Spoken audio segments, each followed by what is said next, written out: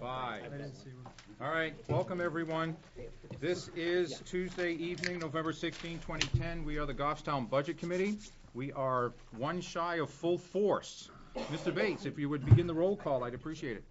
Uh, Bill Bates, Which way are we going? You're, towards you. Sue Tremblay. Jen Geschel. John Dillon. Guy Karen. Richard Fletcher.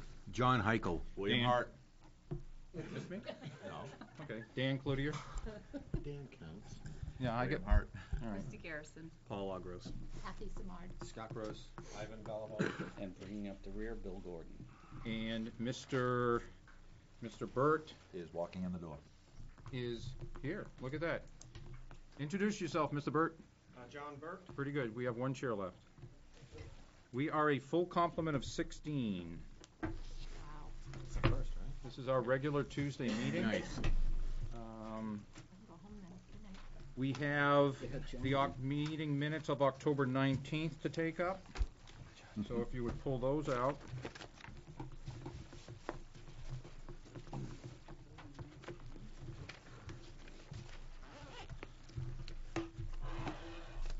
I will entertain a motion to bring them to the floor. Anyone? So moved. Who was that? Sue? What date was that? Nineteen. Uh, 1019. Is there a second to bring them to the floor? Second. Okay, I saw Bill Gordon. Are there any modifications? You guys have had these for a couple of weeks, so that it shouldn't be too much of a surprise. Yeah. Mr. Paul? Not a big deal, but, uh. Yeah, everything's my a big name- deal. My name is missing the S. Yes. No. That's okay. I'm having a heck of a time with that name. I have to keep writing it down. How is that spelled? It's A-U-G-R-O-S? That's right. Okay. That is a big deal. One's name is a big deal, so I don't have a problem with that. Further clarifications, looking good, everybody okay, what's up? Seeing no changes, those in favor of the minutes as presented with the modifications, signify by raising your hand, please. Those opposed, those abstain. And we have two abstentions, that would be fourteen zero two. Those in the minority can read into the record, were you here or not here? I wasn't here. Not here. And you weren't here. That makes it very easy to know why. All right, let us segue to the minutes of ten twenty-nine. Entertain a motion to bring them to the floor. So moved. That would be, I don't know, Will Hart? Bill, whatever you want. Do I have a second? That would be Christie. Saw her hand. Modifications?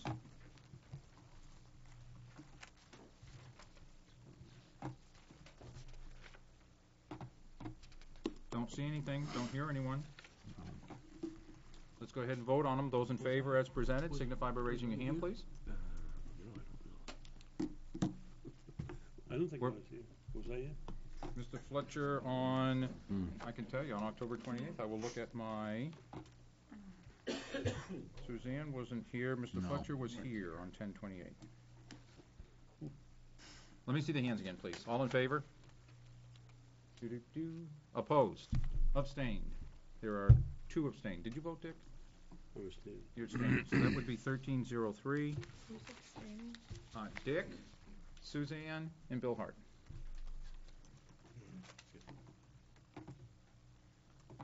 Okay, now, as I promised, I put them on the list, but I don't think we'll go over them, because we haven't, uh, you only got them like for a day or two. These are the minutes from November 4th, 9th, and 13th.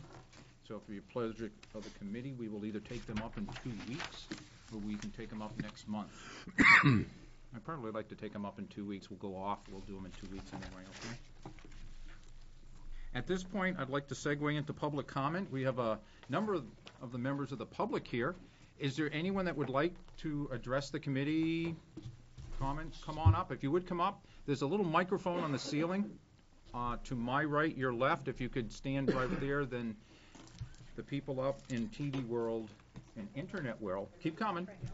Come on up. There it is, okay. It's invisible from the Thank back. you. Just introduce yourself. Okay, My name is Lissa Winrow. Um, I'm up on Range Road. And, um, I just, I've been hearing a lot about the, the school budget and reading a lot about it in the paper. I've been actually going to, you know, different meetings, um, to hear about it. And, um, one of the things that's been disturbing me and my husband is to hear that, um, you know, people are out there thinking that the school board is just out there, you know, picking random numbers, nothing being cut. Um, I can assure you as a parent, we are feeling the cuts, and the kids are feeling the cuts. I have here two letters that I got just this week, one of them came home today. Um, one is from the elementary, one's from the middle school, asking parents for money for basic programs that are part of the curriculum, okay? Um, the music department has been cut significantly. This is actually a survey asking us. They want to be able to possibly charge for us to go to concerts, okay? This is concerts that are required, strings concerts, chorus concerts, they're required as part of the curriculum. Um, the students get graded on it, they're mandatory. Um, in this tough economy, I know that nobody wants their taxes to increase, but I can tell you right now, you're just, by, by decreasing the budget randomly, you're just passing the, the costs off to the parents. We're already paying for, for toiletries, supplies, um, field trips have been cut out, so the, the parent groups and the parents are picking that up. I mean, for me to be getting letters asking for money for basic curriculum that's required is ridiculous. And, I mean, you're asking a smaller portion of the town to pay for it. It's much better off if you could spread that amongst other people. Um, I've also heard that people randomly throwing out that, you know, we haven't cut enough staff. Um, there has been staff that's cut. We have some unified arts teachers that are going to multiple schools because of the cuts. They're going maybe at their lunchtime, they're working at different schools. There's, I know, occupational therapists that are going not only from in our school district, but to other districts. So the school is really trying to use their resources and spread people around. And I'm in the schools, and I can see it. I can see it from the staff members. They're working their best. They're trying really hard under the, the slim budget. But it's, it's starting to really affect the schools, and I'm very concerned about that. Um, so I'm just asking you, as you um, review your budgets, to just put aside your personal agendas, really take a look at the numbers. Don't just throw out random cuts. Really look at the numbers. Look at the impact that the reductions are going to have to the students. I mean, the students don't have a say in what we vote on. It's all of the adults in this community, and it's really not fair for us to just say, we don't want to pay for anything. Too bad. You're stuck with it. You know, deal with it. Make it up later on when you're grown up. um, so I mean, really, if you could just kind of look at the numbers and and just don't randomly think that oh, we can cut 10%. You've got to figure out where that comes from and how it impacts people. Thank you. How you doing? My name's Ed Hager. Um, I work for the state of New Hampshire. I'm part of what's known as the SEA, which is an employees union. Being part of that, I deal with the state budget quite a bit. I go and testify, many different things with bargaining. Some things we may not think about in this area because we're just thinking town-wise. As a state budget, we're facing between six hundred to eight hundred million dollar shortfall. What that means to us, and I talked to a friend of mine who's down at the governor's office quite a bit. We have a supermajority now, pretty much veto-proof Republican. Retirement, they're looking to take as much of their responsibility out of putting that in as possible, and they're gonna shift it down to the municipalities. they are looking at welfare, the part that they pay, shifting that back down to municipalities. Anything they cut, I mean, it's, it's easy to say we can cut this stuff, but you can't always get rid of the programs. What's gonna happen is they'll cut their costs, but they will have to be absorbed somewhere else. The municipalities, the towns are gonna be getting a lot of this come July 1st, the new fiscal year. The budget you have now, a lot of hard work, I'm sure, is going to drastically change. We're going to be asked as towns to pay a lot more of what the state used to do. The big one coming up, education. They're looking at changing that amendment. It was on the news today. Matter of fact, they figure it's going to go right through. The only part they're wondering about is whether or not they'll get the two-thirds public vote to take the, take the state's liability out of how to fund education. All this is coming our way. They're gonna be huge costs, and all I'm saying is, when you think about these budgets, and I have a son in school also, And the last thing I wanna hear is cuts, I mean, I could be facing a layoff, work, being a state worker, even with seventeen years in. But the hard reality is, is with that much money short in the state budget, with no stimulus funds coming in this time, a lot of those costs are gonna end up coming down to us here. Food for thought. Thank you.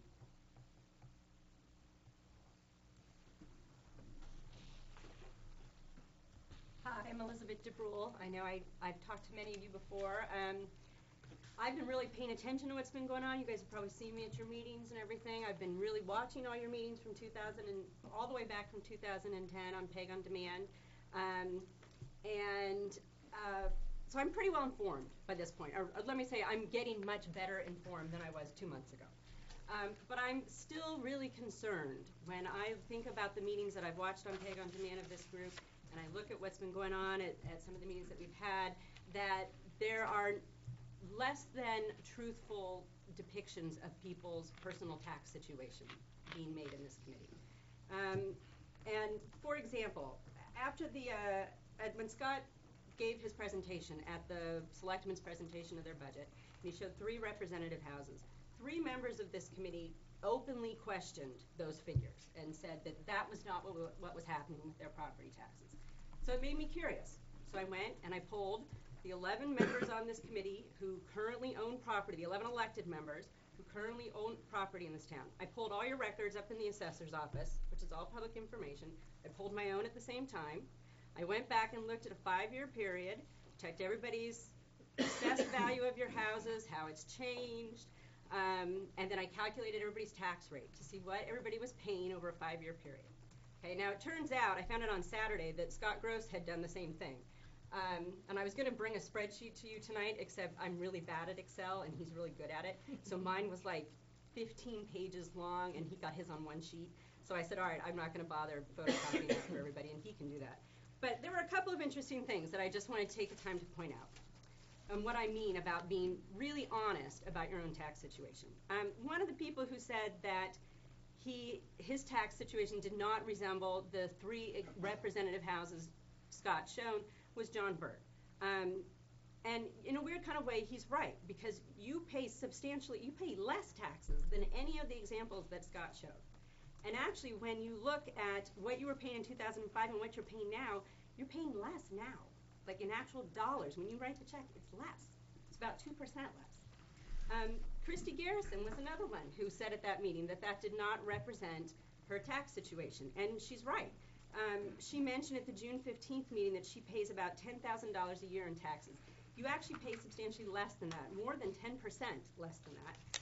Um, and you also didn't mention, when you're talking about your personal situation, that you own a house with a very high assessed value. Um, you own a house of $383,000 in assessed value, which is way above what the average is. You also have talked about how much your taxes have gone up. You didn't mention that you put in an in-ground pool, which is another thing that's going to raise your taxes. And the third one was Kathy Samard, who has called me and told me how she works three jobs to pay her property taxes, that when taxes come around, she can't buy groceries to pay for her, because she has to pay for her property taxes. You also left out the fact that you own a very large home. It's worth $390,000. And so to say that, to paint this sort of Dickensian picture isn't really very accurate. Um, this committee has a lot of tough decisions ahead of it. There are good reasons to lower taxes this year. There are good reasons to keep them level, and there are even some good reasons to raise them. But those decisions have to be made on facts. They cannot be made on exaggerated, misleading statements, unfounded assumptions, and these incredible misconceptions. Okay? They have to be made on facts. And there are some of you on this committee I know who have worked very hard to get information and make sure it's accurate and make sure it's complete. And I commend you for doing that. But for some of the rest of you, you cannot let your bias impair your judgment. And I would really like to see this committee, as it moves forward, make a sincere effort to talk to each other when somebody says something outrageous, to maybe say, wait a minute, are you sure that that's right? And see if that's really what's going on. Because you owe it to all of us when you're making these decisions to do that. Elizabeth? That's the first time I think I've ever heard an applause at a budget committee meeting. Is there anyone else who would like to um, have a comment? Ooh. Right at the last second. Come on up. I'm Brian Lewis. Um, read a lot about what's going on in the town. Um, just want to say, um, compa- there's a lot of comparisons to s- the schools to business, okay? I really hope that the schools don't operate like a business because um, my business, we've taken a lot of cuts um, along the way. But on our conference call, we take calculated reduction in service, okay? we have less drivers for my, for my business, so a lot of, some customers get left out of the run. Um, Is that, you know, yes, sometimes we lose a little bit of customer along the way. Am I still selling? Yeah, I'm still selling. But, um, our kids aren't part of business. They're not widgets that can be bought or sold. Um, basically, um, if we cut the budget by ten percent per se, we're taking a calculated reduction in service. I mean, that's just, it's just what's going to happen, okay? And I'm not going to be up, up here very long, but basically, um, just don't let our kids uh, have a reduction in service. I mean, it's just basically, it could be, if one kid gets left out of the loop, I mean, that's our cross to bear, and that's all I have to say. Thank you. We've got uh, another few seconds. Anybody else? All right, and we're going to close the public comment. Thank you. Before we get into our discussion on the school budget, is there anybody on the committee on either the town side or the school side or the village district reports? I've kind of waived them. This is our normal meeting. We usually go around the table, talk about our departments. Is there anything that's really affecting the budget, either current or next year, in your departments that is really, Bill? The only thing I was gonna say is I, I promised to come in with a cost on the hydrants. You sent me And something. I sent you something, and if you would forward it to everybody else. I haven't uh, done that yet, have I? I know. Okay. The, uh, I I can't remember whether it was uh, $407 or $409 That's what you said in your email. per unit on the, what we are charging this year, which is the same as we were charging last year. And our actual cost, um, by the computation I sent to you, based upon our 2009 uh, expenses, was $425 per unit, and that is no uh, amortization of the cost, the original cost of the units in there. Scott? Um, Along those same lines, um, I did speak with the Board of Selectmen regarding this particular issue. Um, uh, The Board of Selectmen is not interested in seeing that number lowered.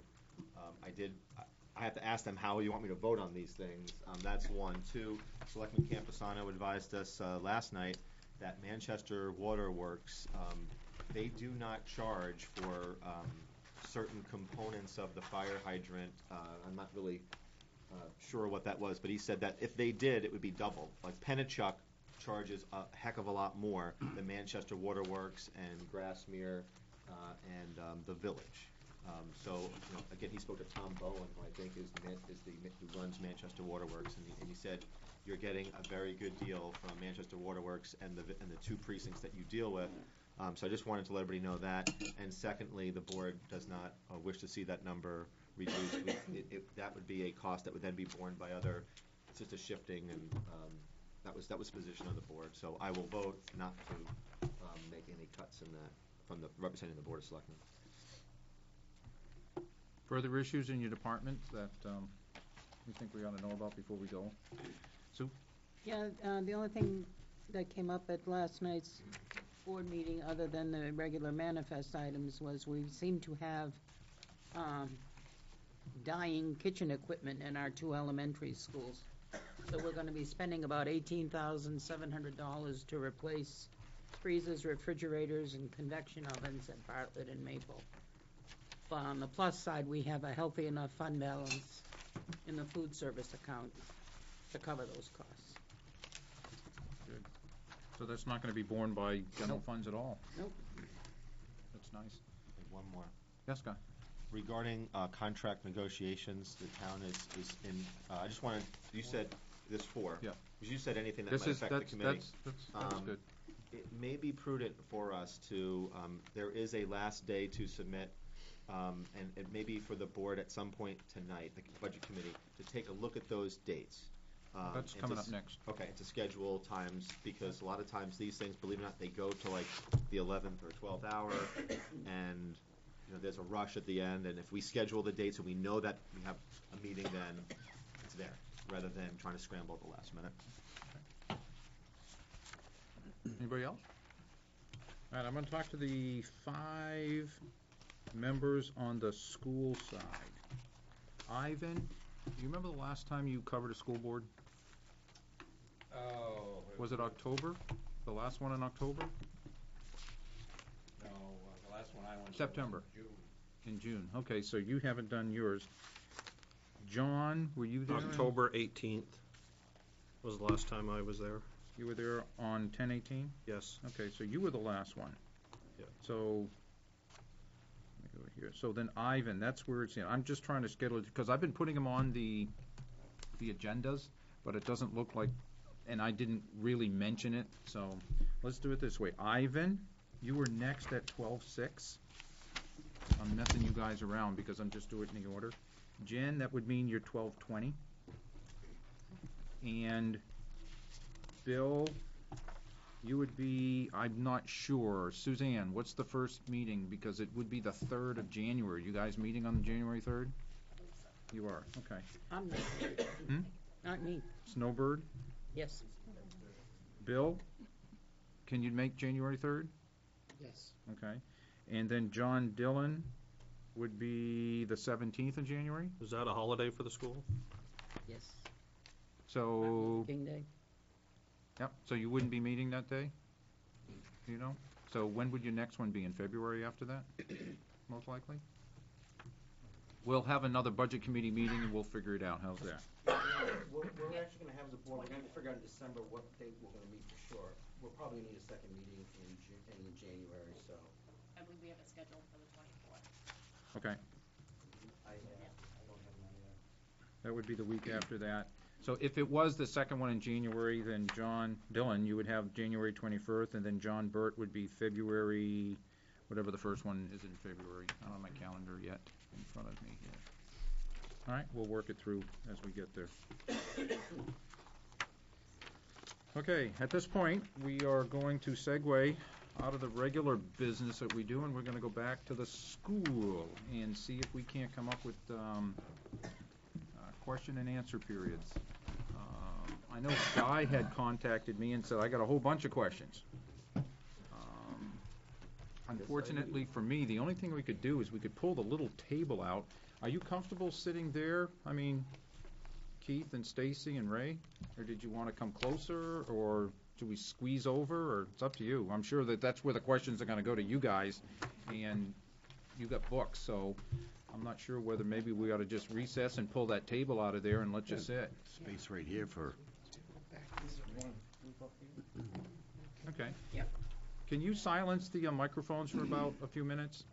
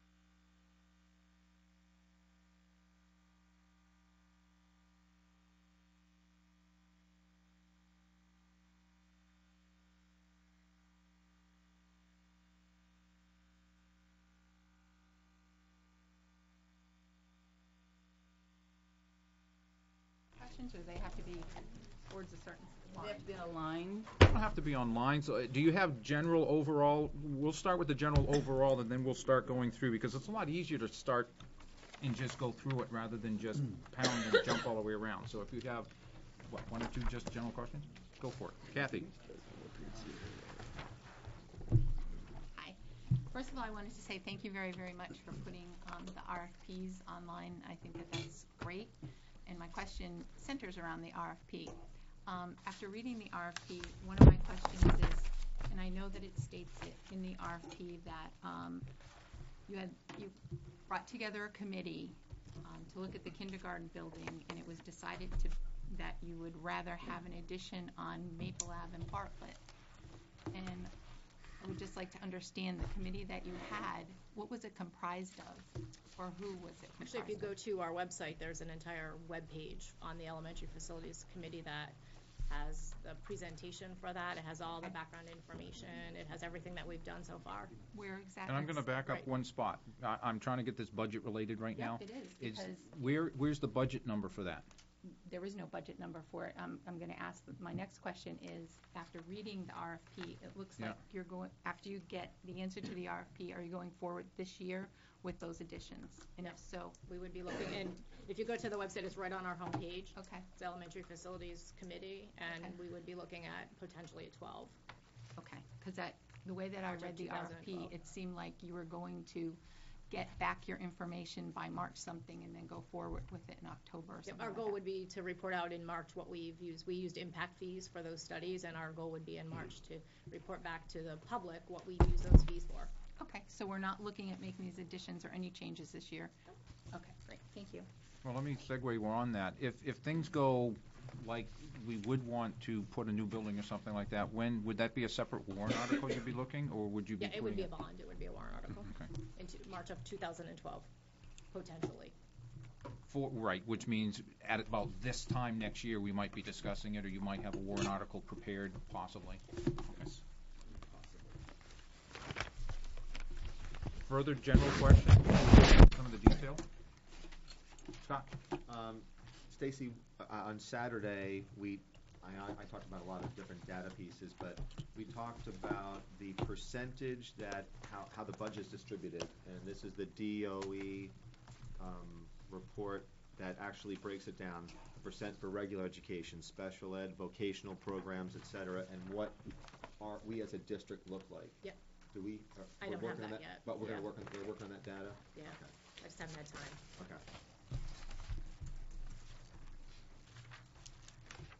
Further general questions? Detail guy, you have a number of questions. I do take it. indeed. Okay. Some of them are a little general, but, uh, first If- of all, If, uh, if you can help us when you do that, I will. and I can come up with page numbers, if you can come up with account numbers. And if they're in sequence, that's even better. I can. Okay, uh, Ray, by the way, thanks for taking that book and putting it into a spreadsheet. It's much easier to work with. I took your spreadsheet and I made it even easier to work with. I'll send it to you if you'd like. Okay. What I did is take the function numbers and their description and threw them into a separate filterable column next to the actual account numbers and names, so that now I can sort by location or function number or account or any combination thereof. So I'll send that to you. The first one I, I pulled up was account one eleven, which is teacher salaries, and it's spread over a number of different functions throughout various locations of all the, the, the schools and the teacher salaries associated with those schools, and they break into functions, regular instruction, special ed, summer school guidance, et cetera, et cetera. I noticed that there are five, reg- regular instruction, special ed, bilingual, summer school, and guidance, that total six hundred thousand that are associated with the district. Could you explain that to me? Are these, te- do they teach in any of the other schools, and if so, why are they, why is that money tied to the the district? district. They're all, they're all district employees, so for example, under special ed, we have, um, two OTs, occupational therapists, who travel between different schools. Um, we have a counselor who travels between schools. Um, the ESOL teacher and paraeducator are under the ESOL lines. Those are people who travel between schools. So in the district line, any salaries you would see would be people who are not dedicated to a school, but go between schools. But they rotate, all right, Yep. but they are teachers. Absolutely. Okay, that would fall also with the paraprofessional salaries, uh, account one twelve, Right, they would just be paraeducators, not teachers. okay. Uh, account one thirteen, district salaries. What, what are, what are district salaries? I would need to know, Uh, they, What's they come beginning under numbers? regular instruction, co-curricular. What's uh, the number? Uh, it's one thirteen is the account. The functions, there's five of them. Okay. Uh, eleven hundred, regular instruction, district salaries. Fourteen ten, co-curricular activities. yeah, those are, those would be our tech guys. So our, our technology, the staff, the Directors. technology staff and the technology director. Okay, uh, the big one here, for hundred forty-three thousand, is twenty-two ninety, other support services. Again, that's a technical line. So, how many of these are, well, what's regular instruction, number one? You're, you're in zero zero zero, by the way, Uh, I'm in the, the district, yeah. twenty-two ninety. So Yeah. zero, zero, zero. Yeah, function eleven hundred, regular instruction, Yeah. account number one thirteen. Yep, that's our technology staff Why, is- That's just our director. are they instructing? and one And technician. one, and yes, one technician. So we have our, it's our director who covers the entire district, Gary Geralman. Okay, and so one that's tech, techno- that's one IT. technician. Yep, Yes. yep, It's under regular instruction. correct. Is he instructing? It's Or the is he- line. he's just, He's our technology. yeah. okay. So He has a he's, he's TJ been put class. under an instruction line. Yep, that's where they go. Okay. And co-curricular for seventy thousand, under district salaries, that's zero zero. Athletic director. That's our athletic That's your director. athletic, okay. Other support services is more IT for hundred forty-three? It's the twenty-two ninety function. Yes, Those are all of the district technicians that work to support the schools. technicians, okay. And then, under this, you've got building services, twenty-six twenty. That's It's our our facilities facilities director. director. Oh, that's an individual, Yeah. Yes, okay. Facilities director, uh, you're looking at the one thirteen line. Yes, Got sir. Yes. Okay. Okay, um.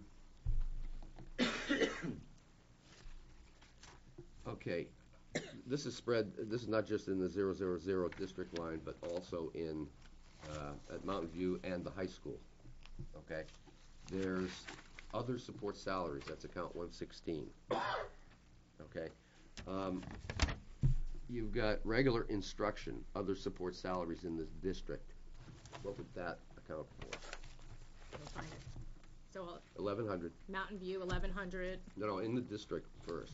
Zero zero zero, It's zero zero zero, function eleven hundred, account one sixteen.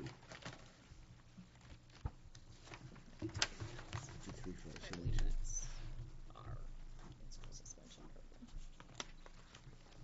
fifty-three your five quotas. seventy-two, it's on page one. Student support. Yeah, those are your quotas in there. Look at this, Oh, yeah, that's where I'm at. your quotas. What's the, what's the amount, Guy?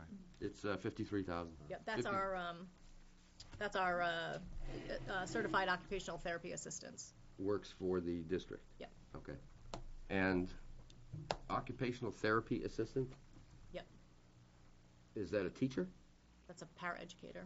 Paraeducator? Kind of, it's, it's somebody who do- isn't a te- on a teacher's contract, but isn't, it's, they get paid more than a paraeducator. Um, It's a certified instructor. Okay. And you have a special ed individual there too, twelve hundred? Function twelve hundred? Again, give me lines, a Uh, lot of twelve hundred lines. One sixteen. Twelve hundred, one sixteen in the district. No, see, this, well, this is not. So the, let me back up, the eleven hundred, one sixteen that you were just talking about, the fifty-three thousand, that's actually our two in-school suspension people that does our in-school suspension program, our alternative to suspension. The, w- the twelve hundred, one sixteen line, that's our COTA, the twelve hundred, one sixteen, The twelve hundred, one sixteen is your, the COTA, that I was, the certified occupational therapy assistant, Okay, those and- lines. and they're, they're in the district budget, but you also have the same thing for Mountain View and the same thing for the high They school. would be different people, different programs. Mountain View has their own, and these other ones in the district travel. And high, the high school has its own Yes. too. Their Okay, population demands that they have somebody there.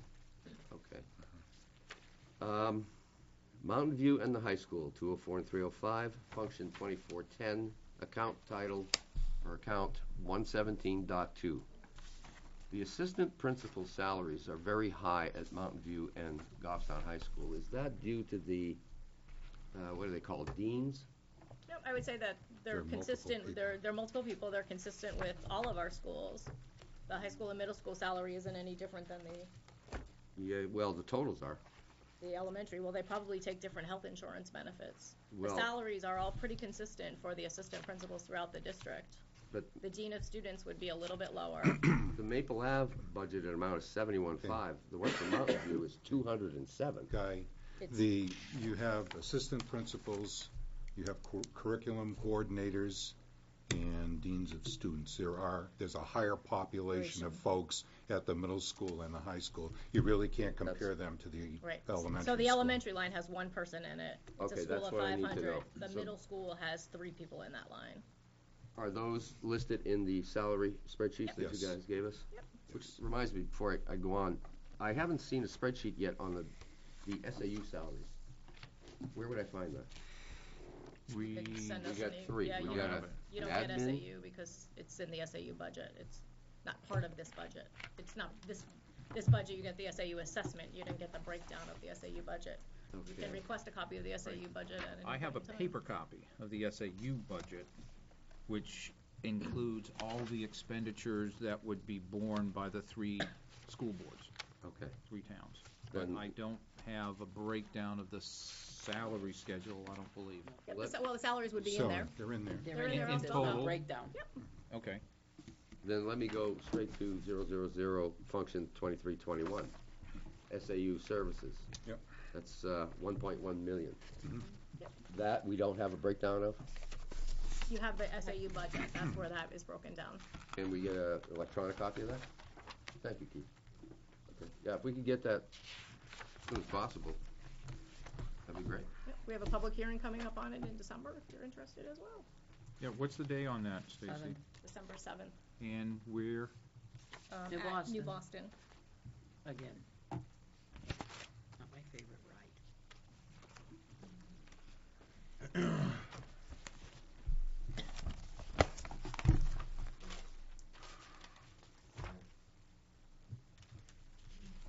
Dan? Yes. Spitball. Scott has a question. Go ahead, Scott. No, I just, um, you know, salaries, public employees, their salaries are all Public, subject to yeah, public. yeah. Yeah, I Um, understand. to- Right. Um, and with regard to, um, I'm- I, thi- I know we've, we've given them on the No, town side I'll and let you know the that he school did. side. The only thing you're not gonna see are the health insurance things due to HIPAA. HIPAA! But, um, but even on, uh, like with, uh, school administrators, if you're looking for comparisons, the DOE website, if you go down to the financial reports, it will, it does break down, not for, uh, clerical people, but it does, um, break it down for superintendent, assistant superintendents, business managers, et cetera.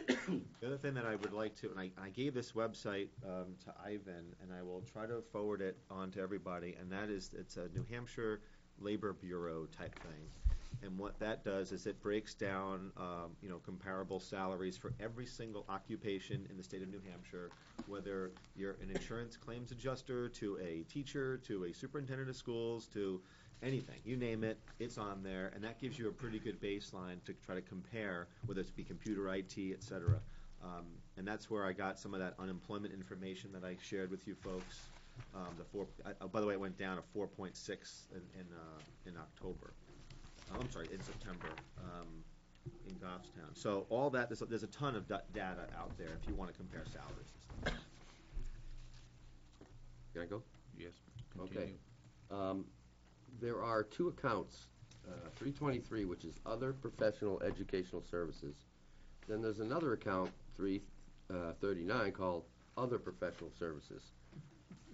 There's quite a bit of difference in the, am- I'm I'm curious as to what those are, because they're sizable amounts. Can you read the district numbers? line, Pardon me? district, district still? Uh, District? Yeah, let's, yeah, district. What are, what are your numbers? What's the number?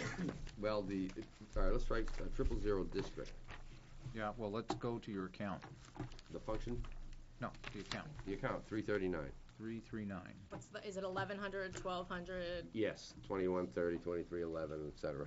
No, I, Eleven hundred. eleven hundred is a regular ed, 1100. special ed, Twelve Oh, hundred. the three thirty-nine is gonna be the consulting line, it's gonna be a twelve hundred line, Yeah, consulting.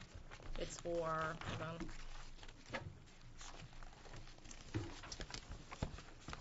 it's about two hundred forty-five thousand for those the are our, district. those are the special ed consultants, um, that we, based on IEP needs.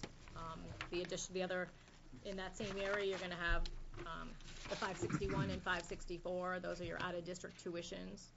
Um, those are all special ed requirements. Those are students who we can't provide an education for, that we're required to provide an education for. Um, and the consultants are services that we can't provide, that we contract out. You contract these, these Yep. services They're all out. consultant lines. Okay. Before we go one more, I want to make sure the entire committee is with us and we're just not going, uh, in your budget books, okay? If you want to start looking at some of the account numbers, if you have them on paper. If you're in the detailed sheets or the master sheets, the master sheets are a little different because you have to look at the top. When he looks at the function code, you can see that on the, on the general sheet. But if you go to the detail sheets, you way on the left, you got the long account numbers, ten dash zero zero zero, like I'm on page ten, for instance. Ten dash zero zero zero dash twelve hundred. Then you go right, be- then there's more numbers, but we can kind of ignore that. Um, Ray, what's the twenty-three and the eighteens and the sixteens after that account number mean? Anything important for us? There, those are program numbers, Dan, they're probably not important to you. We Because they control- will subtotal someplace. Okay, so we can skip anything after the first tri-octet. The first ten is Fund Ten. The three zeros is your district, where are you're going, what's the location, zero zero zero being the district, one oh one Bartlett, one oh two Mountain, no, Maple Ave, two oh four Mountain View, three oh five GHS, and I think one oh three is the kindergarten, correct? So you have those keys and clues. Then the next set of series of numbers, of four numbers, the eleven hundred is regular instruction, twelve hundred would be special education, and so on and so forth. Now, what Guy did is, what I'm gleaning from here, he looked at the number below those numbers. Okay, where you see three thirty-nine, five sixty-one, five sixty-four, I'm going on page ten, then page 11, 581, 612, 651. Those are the, the accounts, or the, I don't wanna call them programs, but, and they, all of these numbers should be consistent, depending where you go. So if we pick uh, five sixty-one, it's elementary tuition. No matter where you see five sixty-one, it's a good bet it's gonna be elementary tuition, okay? So what Guy did was, I think he, with his spreadsheet, grabbed all of those for doing the same thing and said, okay, where are we spending this one number? In here, in regular instruction, uh, in special education, in, in health services, and in what, I'm calling it the PAU, program unit, which is either at the SAU level or at which one of the schools. That's why we're doing it, but I think it's important, if we wanna look at this, understanding the question is gonna help us. And I didn't get quite of a good fuzzy feeling that we were all on the same page getting the answers to what we we're looking for. So it, perhaps we wanna slow down and understand where we're going from, rather than just getting the question asked by one member and getting an answer and it helps him. I think we all need to be on board on that one. Okay, so I'm gonna slow down a little bit, Guy, to see mm-hmm. What's in Guy's brain by asking these questions and whether it's a concern or not a concern or, or something like that. All right, and guys, I will ask if you want to raise your hand and ask some questions about getting more detail on that. That's what we should be doing, all right? We are on three thirty-nine, other professional services. And generically, that is, Scott? Just, just a question. Um, we've been told at the last presentation that it's difficult to get like a speech pathologist. What, what is, if, if we are not able to get a speech pathologist to work for us, um, what is the hourly rate for a speech pathologist that we're paying on the market right now? Anywhere Yeah. between seventy-five and hundred dollars an hour. Now, Does, do we pay for any travel time or only on It site? depends on the company you go with. It's, if, if it's an individual you're contracting with, it probably not. If it's a company, um, that has, you know, they hire speech pathologists and then kind of farm them out, oftentimes you do pay travel time. Okay. So it Is that depends on full how rate you- or half rate? or- Typically portal to portal, Dan. Yeah. It's usually portal to portal. Okay. and I, can I have a follow-up? Yep.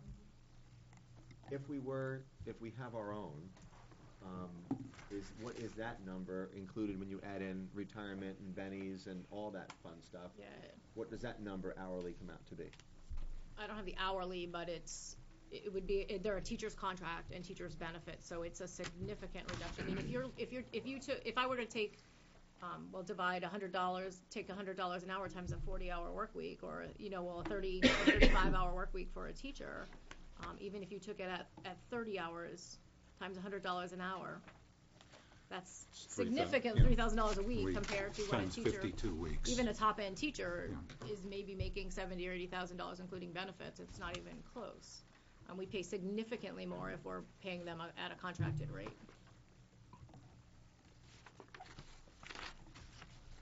Right now, right now, we have only two day, two days a week that we pay a speech pathologist. Now, we contract for vision and hearing services because we don't have a high demand to actually put somebody on staff. Um, so it's actually a benefit to just consult with those services.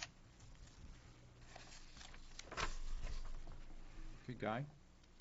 Uh, okay, I got a quick question on how, four particular accounts, as to what the difference might be between the four.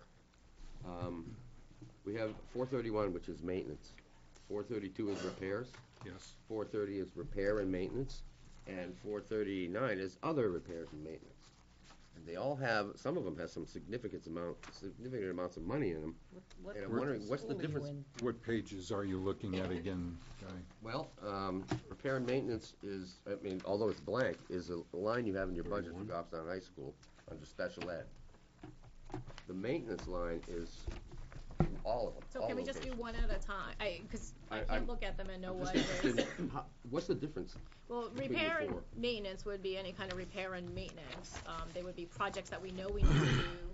Um, And what For- goes in the repair line, and then Okay, what goes in so- the maintenance line? Well, Let's try this. Okay. Four thirty-one is, is a maintenance line. Mhm. Typically, what you're going to see in there is costs associated with any kind of a maintenance agreement we have set up with, uh, equipment providers and the like. Okay. Alarm maintenance, uh, for fire alarm systems, uh, elevator testing, uh, you name it, uh, that's going to be in there. Any kind of building inspection work that we have to go through. Four thirty-two is a repairs line. That's typically where we're going to budget uh, our monies that we anticipate having to spend for facilities repair work. Glass replacement, plumbing fixtures, electrical problems are all addressed out of that particular line. Okay, while you're there, Ray? Yeah. Mountain View and the high school, building services, four thirty-two repairs have some sizable amounts. What- Yeah. What's wrong over there?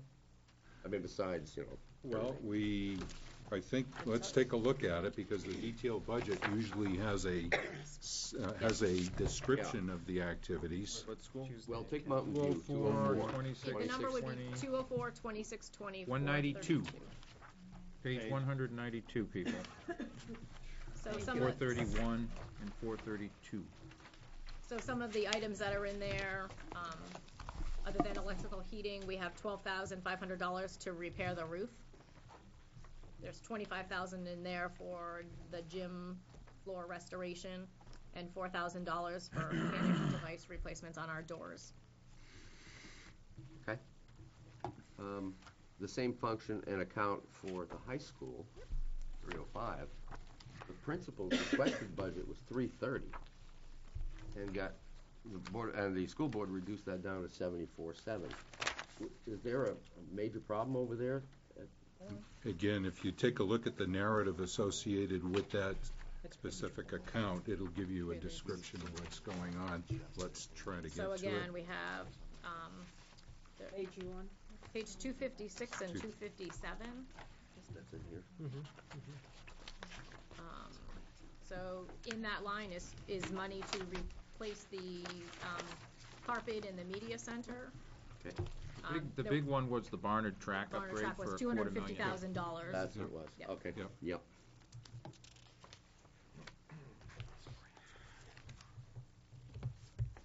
Do you- you get the, uh, you have the paper copy? I didn't bring it because I thought I had everything here, but I don't have the narratives here. Yeah, that, that's what I found very helpful in the, the long version. It, um, with the out. detail that's sitting in there. Um, I'm wondering if, if your conceptual questions might be more, applicable. I will have to add the narratives to this sheet.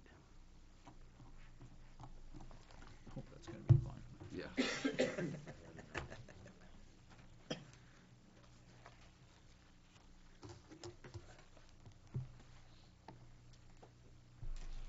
And when he's done, we can sell the program back to the SAU.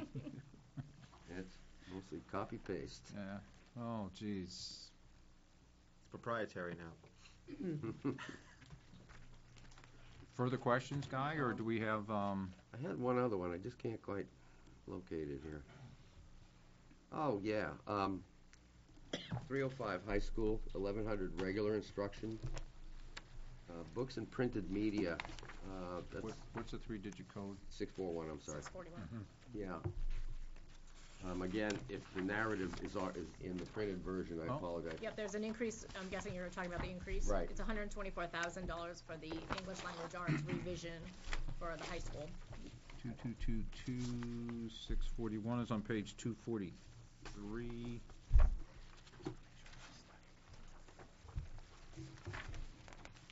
And that would, if you remember, last year was the English language arts recycle, revision for that cycle. We purchased K to six materials out of ARRA funds. Seventh and eighth are in the current budget, which we're looking, we're piloting right now, and we put off the high school to, because of budget cuts, we put off the high school and we budgeted it for next year. Okay. Then I only have one other question. On- Under triple zero, the district, twelve hundred special ed. Um, Line five, uh, item five sixty-one and five sixty-four, the tuition.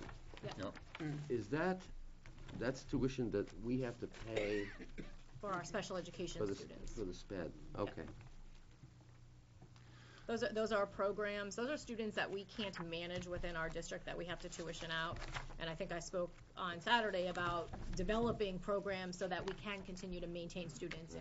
Where, where do they go again when we? Um, tuition a them? variety of different places, for example, we have students at the Lighthouse School in Massachusetts, we have students at, um, Crotched Mountain in Greenfield, um, And we transport them, right? We're That's- required to do that. That's the special ed transportation line I saw Yep. earlier? part of that, yes. no longer reimbursed for we used to get reimbursed for the special ed transportation, right, Stacy? But we still get, re- it's under Cat aid. Oh, it's That is Cat what we aid, get, we would get some reimbursement. Sixty-six One percent of what one we're there. supposed to get. Just one. Go ahead. Okay, my last one, again, under the district, fourteen ten co-curricular activities, and it's one twenty-seven, the stipends. Yep. At two hundred forty thousand. Could you explain to me exactly what that is? Those are all of our co-curricular activities, all our co-curricular sports as per the master, our master agreement. So it's our coaches, all of our coaches. Coaches, game officials, yeah. Okay, do they, do we pay anything, are they subbed, are they subcontractors, or do we pay workman's comp and like? No, we just pay, I think what are we required to pay, uh, probably FICA, Yeah. whatever. Yeah. Um, So- it's just basic, That's it. it's just a, Is this all athletics? No. no, No. it's also Everything. clubs and sports. If They you look would at our area. Class if you- advisors and Yeah. all that. If you look at our, the That's the teacher's yearbook. contract, it's Yearbook. all spelled out at the end of that. Okay. All right, thanks. What was the last thing you said, Stacy? If Something? you look at our master agreement, the teacher's agreement, they're all Yeah. spelled out, at who- what's in that. Master agreement, okay.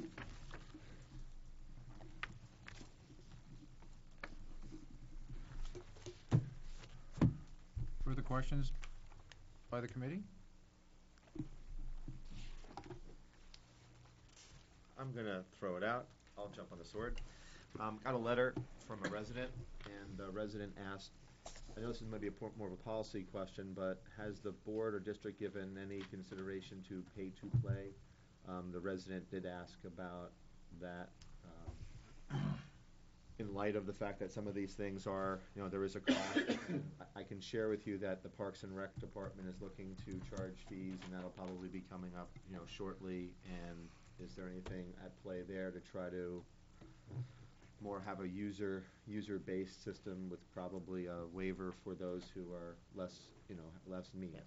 I, I do know that two years ago, the school board, we put together a committee um, of probably 15 or so people um, that looked at that. They studied it for a good couple of months, um, met multiple times, and came back with a recommendation to not propose that. Um, I think the committee felt that um, parents would be willing and should be willing to pay for um, extras, but to pay to provide the service. Um, and that was where the committee landed at the end of that.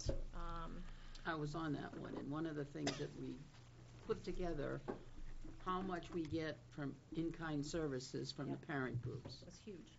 It's a huge amount of money that we would have to spend. And our concern was, if the parents had to pay hundred dollars for their kid to play, they're not gonna be out there spreading sod on the field.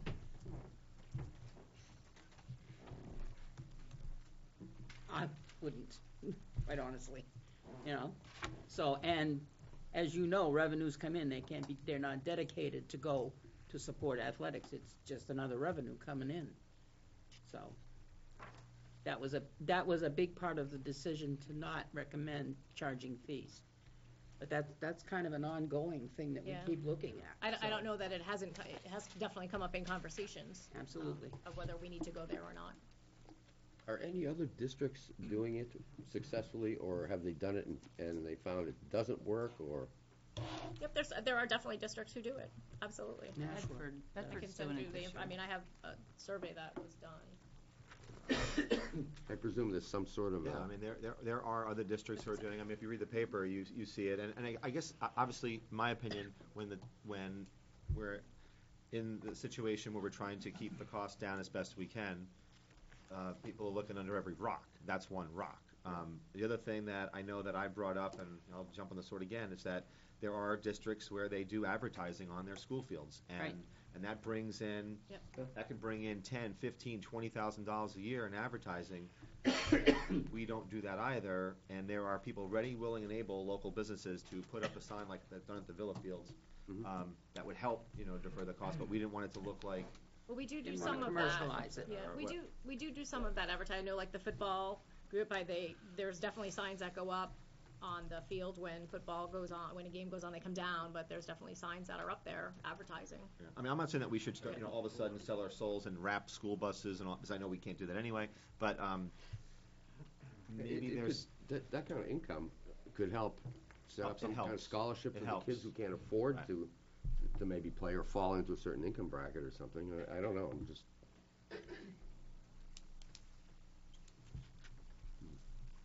We seem to segue a little bit on revenue. Let me, let me tax you with one question on revenue. You, you sent us the, the preliminary uh, revenue sheet, and I didn't notice, but I didn't get a chance to pull out the actual tuition received from the last completed fiscal year. Do you have that number? Regular education. Um, I'm trying to compare it to the spreadsheet where it says local revenue other than taxes tuition, and I'm try, because these are all approved MS twenty-four numbers. Yep. And then, um, I don't know where the actual fits in that comparison. If you can help me with that, that would be, because, approved MS twenty-four for, um, two-ten, two-eleven, that's the current year. Yeah. Uh, if oh-nine, ten, five million, one fifty was, that was the MS twenty-four, but that, is the MS twenty-four the actual, or is that like the? The MS twenty-four is a forecasted number. That's a It forecast. is not an actual. Right, and I think the actual was a little higher than that, or maybe a lot higher than that, and that's why the tax rate that we just did right now was a little more favorable, because I think there was That's right. not quite a million more that came in.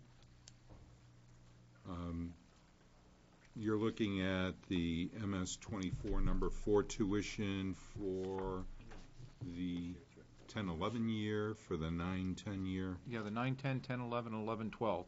because it went from 5.2, 5.2 roughly, it, it goes up and down, then it went to seven point, the current estimate is seven million, three forty-one, five fifty, which looks a little more comparative, maybe a little higher because of the other three, five students? Okay.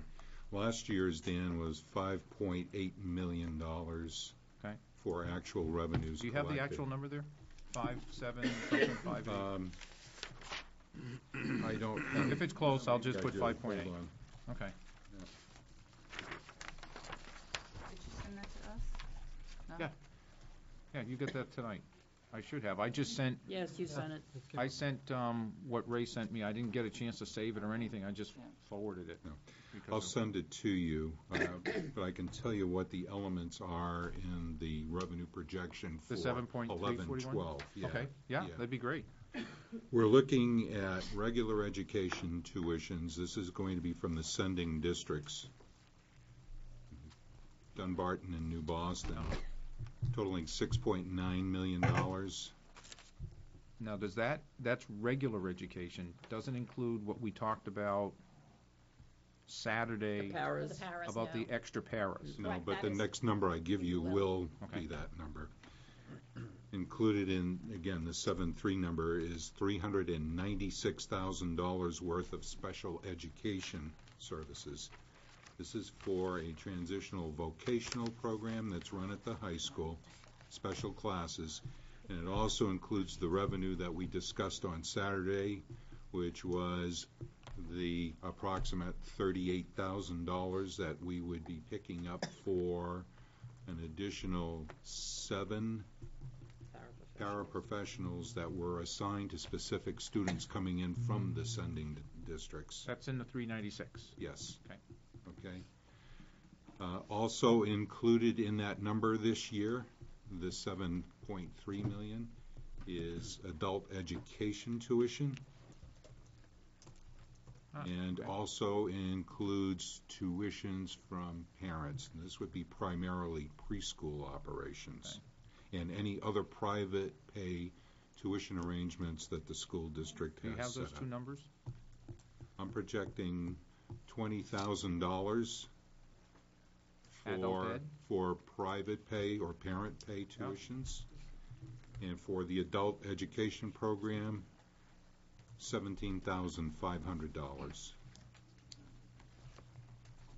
The parent tuition could come from, actually, two. Most of it pre-K. The other one would be, when I hear motions at the school board just saying we have an individual who wants to stay there, but the other town might be paying or something. Yes. Yep, That would include anything like that. yep, And that isn't necessarily special education, that could be No. regular ed. could be regular ed. Thank you. That averages close to seven, three thirty-three. The numbers are average, so that's, that's, that works. Questions from the board, members? Whoa, that was close. Ivan and Paul, I, I think Ivan, I, the old man got you. Go. Older. Older's all right, old is. Older, all right, The distinguished. all right. We'll go for the, uh, silver-haired over the, well, never mind. Yeah, right. Shouldn't go there. Yeah, you shouldn't go there, hello. Hey, I'll, I'll, I'll, I'll tell you the joke later. All right. No, I- I was just curious. I'm- I'm looking at the uh, Goffstown School Dis- District. This is a oper- uh, 2011-12 operating budget development. It's kind of a Yep. a summary sheet. It's it- it's kind of easy to look at stuff because it's all summarized and broken out, and the percent changes are there. And you, you've got two breakouts. Uh, Well, more interesting one, I guess, is the general fund by school. To get us all on the same page, Ivan, what are you looking at? Uh, This is something, Do we have a copy of it? you emailed, it went around. Oh, I emailed it out. Yeah, you emailed it out, I printed it, maybe that's What's it look like? mistake, I don't know. What, what are the title of it? It says, um, operating budget, of it's dated ten twenty-eight. Ten twenty-eight, two thousand eleven, twelve operating budget development, Okay. Goffstown School Looks District. like this. Okay. You, uh, there's several of these that went out. I don't know the date they went out, but the printer could handle these, couldn't. Do you have them? Does everyone? Yep, I got a copy. You know where I am? You share them or? Okay. And in the general fund by district, you've got the total fiscal year 2011, 2012 actual and then proposed uh, dollar change and then a percent change. And it's summarized in, at the bottom. And, and I'm rounding off very generously, I guess. Uh, the budget's gone up thirty-five six to thirty-seven five. And I apologize if rounding off quick, uh, didn't quite do it. But there's a one point eight million dollar increase, about five point two one percent. That's the increase, the proposed increase for the entire budget? Correct, including uh, Yeah. the food service and the grants. The grants. total operating Yeah. budget. Yeah, understood. And and also should note that some of that is offset by increases in revenues. I understand, yeah. Yeah. I, Yeah, I, I- I'm just looking at the data that's here, and for instance, on the top right, you've got salary and benefits for the uh, six different categories, the first being the district. And I just noticed uh, one, uh, one million nine nine seven for this year, going up to two million three five four. It's a seventeen point nine percent increase in salaries and benefits for the district. Correct, and that Mhm. was, that's More due to some additional staff that we talked about, new programs that we developed on Saturday. Um, we talked about two new programs that we developed that have been funded by ARRA, that we now are picking up, but it's an overall cost savings to the district, because we're not placing those students out of district. All- That's the increase. All I'm saying is that for each of the schools, and I'm just going down, District Bartlett, Maple Ave, Glen Lake, Mountain View, and uh, the high school, is uh, eighteen percent, eleven, seven point one, three point two five, seven and a half, six point four percent increase for a total of seven point nine percent. So salaries and benefits have gone up a total of seven point nine three. Yeah. Correct. Okay. Yeah, but that And the is- total budget is- has gone up four point I understand, so I presume to do that it- on the uh, non-salary, now the salary part of 26 million out of 37 million, I guess is three quarters, about three quarters of percent. Your, three quarters of the budget is in salary and More than that, compensation. salaries and benefits more than that. About seventy-five percent. Yeah, you're right. Okay, 65 percent. No, No. seventy plus. But that's what we do, we are, we are educators, they're Oh, I, teachers, I yeah. understand that, I I- understand. I also want to express that when you, when you say salary and benefit increases, most of the increases have to do with the fact that the state has changed the retirement contribution and the cost of our health insurance increases. It's Well, not that just was- all salary increases. That, that's why I was ask, I mean, I'm only going by the titles that are here, that's what I wanted to hear. I, yeah, I- yeah, you've got benefit increases. Especially, well, like you said, the retirement program, they've changed the ratios up to the state as to what we have to pay and everything. So They've that's, Increased it. do you have a percentage increase in, on your head? Is it It's- Um, it was five, the, ten, uh, fifteen? It's budgeted this year at nine seven seven for teachers, nine point seven seven percent. Right, it's actually, Compared in the- it's to- in the overhead, uh, we did on Saturday, Hold so on. you should have a copy of it, um, in the handout. It does show the, uh, last two years, uh, this year and last year. Okay. Okay. Was, was last year on that? I don't remember seeing Yeah, I it on think there. it is I, I know the, I know the new year was Yeah. on there, but I remember last year. Give thirty seconds. Harrison. Well, let's take a moment and take a peek. Uh, retirement went from eight point oh two to nine seven seven for teachers, and for others, so our support staff went from nine point one six to eleven point oh nine. So these salaries and benefits are a combination of personnel increases, salary increases, and benefit increases? Correct, Okay, it's everything, yeah. it's everything. And obviously, if, the- if, well, if, if uh, sixty-five percent went up seven point nine and the total only went up five point two, you had to take away quite a bit from the operating part Absolutely, we did. to, to make it. If I could just ask for a quick, what's the sixty-five percent, what's, the- what's that number you're saying represents? Twenty-six million is roughly sixty-five percent of thirty-seven five. Okay, Okay, yeah. I just want to make sure I understood what number you referred to. Yep. The thirty-seven five, including not just general funds, but the other two funds? Right. as By, well? by the Yeah. grants and food service, the Right. total bottom line. Six million, Okay. it should be twenty-six against the depends on the- thirty-seven.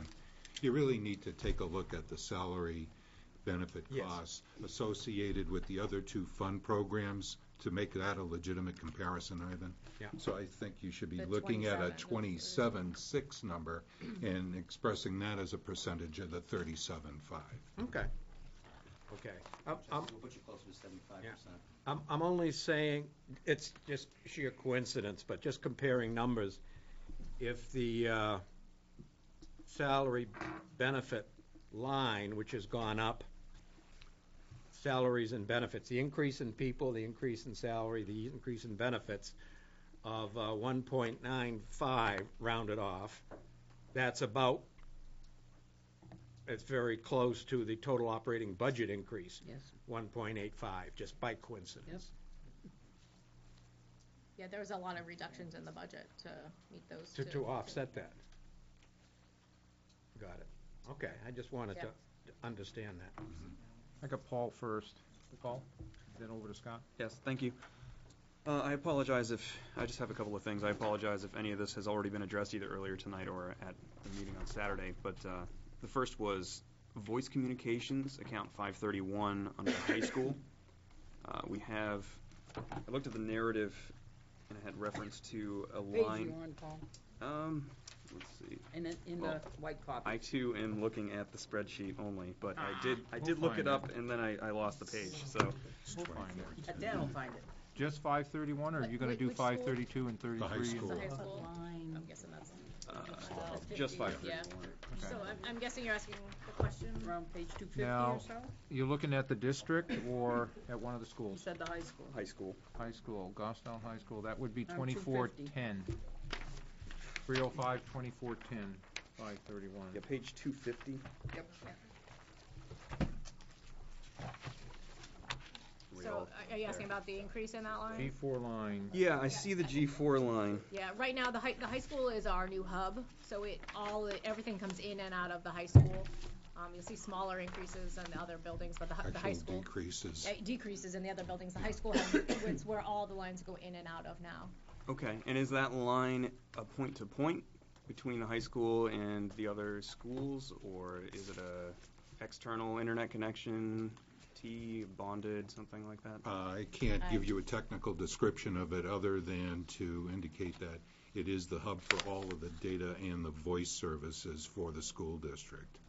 Okay, so those it's are all the probably- Cisco items, right?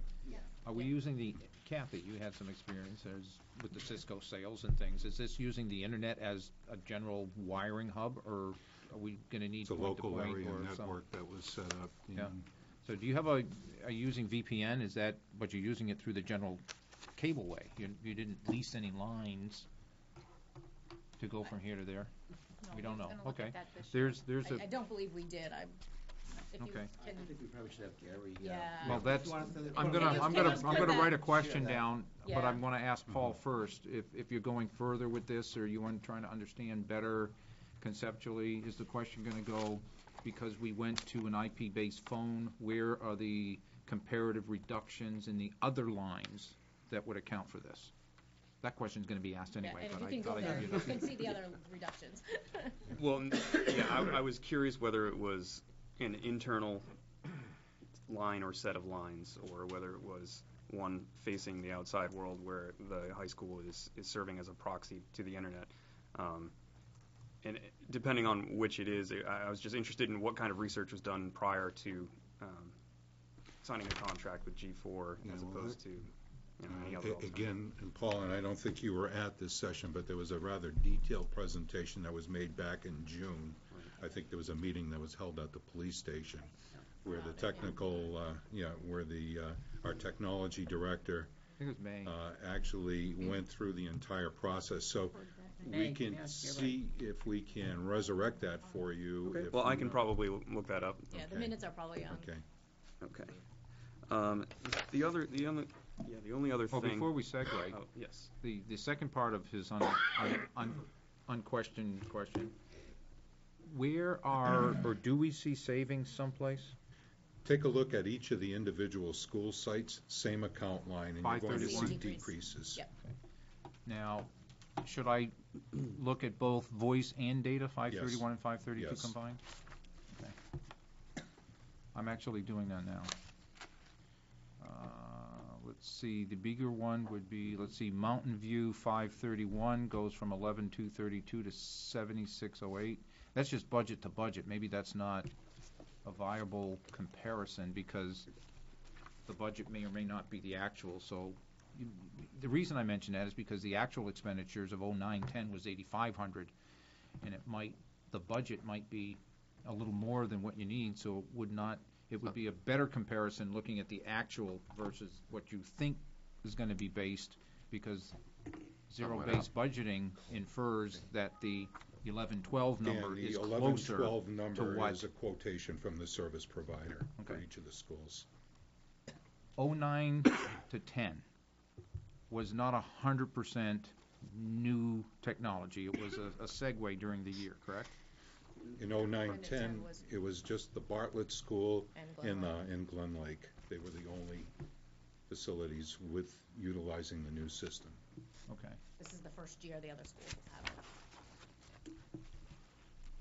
Don't see any large reductions. Um, But we do see, um, if I added up all of the five thirty-ones and thirty-twos, the current budget is about ninety thousand eight ninety. If I add up, and this is the new one, it's a hundred and seven thousand seven seventeen. Seven, let's see, one oh eight, ninety-one, about seventeen thousand more. And is so, the, the new, would it be fair to say that the new phone system then would be budgeted higher than the old one? Unless there's some, some cost someplace else that I haven't, I'd need to take a look at what, it- what it is lines. that year, yeah. Okay. We can come up with an answer for that. I will try to put that in a, or do you want me to write something down, or you just want to? Yeah, I'd like to know what you're looking at in Okay. the way of a comparison, then we can uh, try to answer you specifically. Okay. Paul, go. Okay. This might take a while to get everybody on the same page for this, but in a similar vein, um, the maintenance account throughout, um, let's start just generally.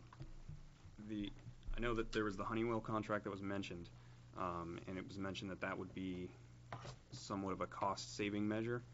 Uh, I was wondering where we're seeing reductions into which lines, um, if that's happening now or only in the future, or, Paul, it's actually a cost avoidance setup. You know, we do get annual reports that we do audit.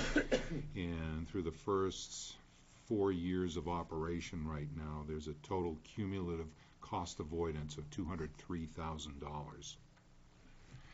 And that two hundred and three thousand is net after the school district has, you know, paid, uh, for whatever oil and electricity it's purchased, and has also paid on a note for the new equipment that was actually introduced into the uh, system to run these, these systems, okay? okay. Um, It's cost avoidance. You're not going to see a dollar for dollar savings. What you're going to see is we spent two hundred and three thousand dollars less for energy for the past four years than we would have if we had not implemented these energy-saving mes- um, uh, uh, enhancements. And that calculation is based on just a It's projection based of upon, prior? it's based upon actual costs that we spent, or actual numbers that we spend for electricity, heating oil, and propane, and it's measured against a benchmark that was set up originally when we went, entered into the contract agreement with Honeywell. This is something that's been in existence now since 2003, 2004. Okay. So if we said our oil, our oil burners were running at eighty point nine percent efficiency four years ago, then if that was the case, how many, how many BTUs they were putting out at the time, and if we kept the same, not go down, but if we kept the same, how much fuel would we have had to purchase to heat the building at the same rate? And what the new one's the better energy efficiency. And I don't say that just for us, but there are people listening that, plus it helps me remember at this age, the synapses click better. Right, that's, that's net savings after the, the cost of the Honeywell contract. Yep. Yes, Yep. yes. The principal payments. Got another one? And that was, you know, the other piece too, to put, again, add a little more context to it. Um, The Honeywell did work with the school district, and we did get state building aid for this equipment upgrade. So everything that we went out and needed to purchase for implementation, we really got thirty cents on the dollar from the state of New Hampshire to help us with that. Okay. So again, it's, it's been a, a very beneficial program for the school district since its implementation. Thanks. So the Um, further question would be, does the two hundred and three thousand not include, because we wouldn't have spent that thirty percent anyway, so that two hundred and three could have been less if we had to have bought all the equipment ourselves? Yeah, Yeah. yeah. Right. Yeah, So we were able to make it even higher because we were lev- leveraging. Yep. Ivan? Got Two more questions. I apologize. The, uh, I had other questions and, uh, should have jotted them And then all we'll come down. back to Scott. The, the, the same page, the same, uh, Mm-hmm. summary sheet, and I was looking at the, uh, dollar and percent change of the Fund Ten, District, Goffstown High School and all that. And I noticed the salary and benefits line for the Goffstown High School, the budget is ten million one. And the increase requested is six hundred and thirteen thousand, or about six percent. Compared to the district, where the sal, uh, the salary and benefits are two million three. It's the budget. A three hundred and, well, three, three hundred and fifty-eight thousand rounded off for a seventeen point nine percent increase. Mhm.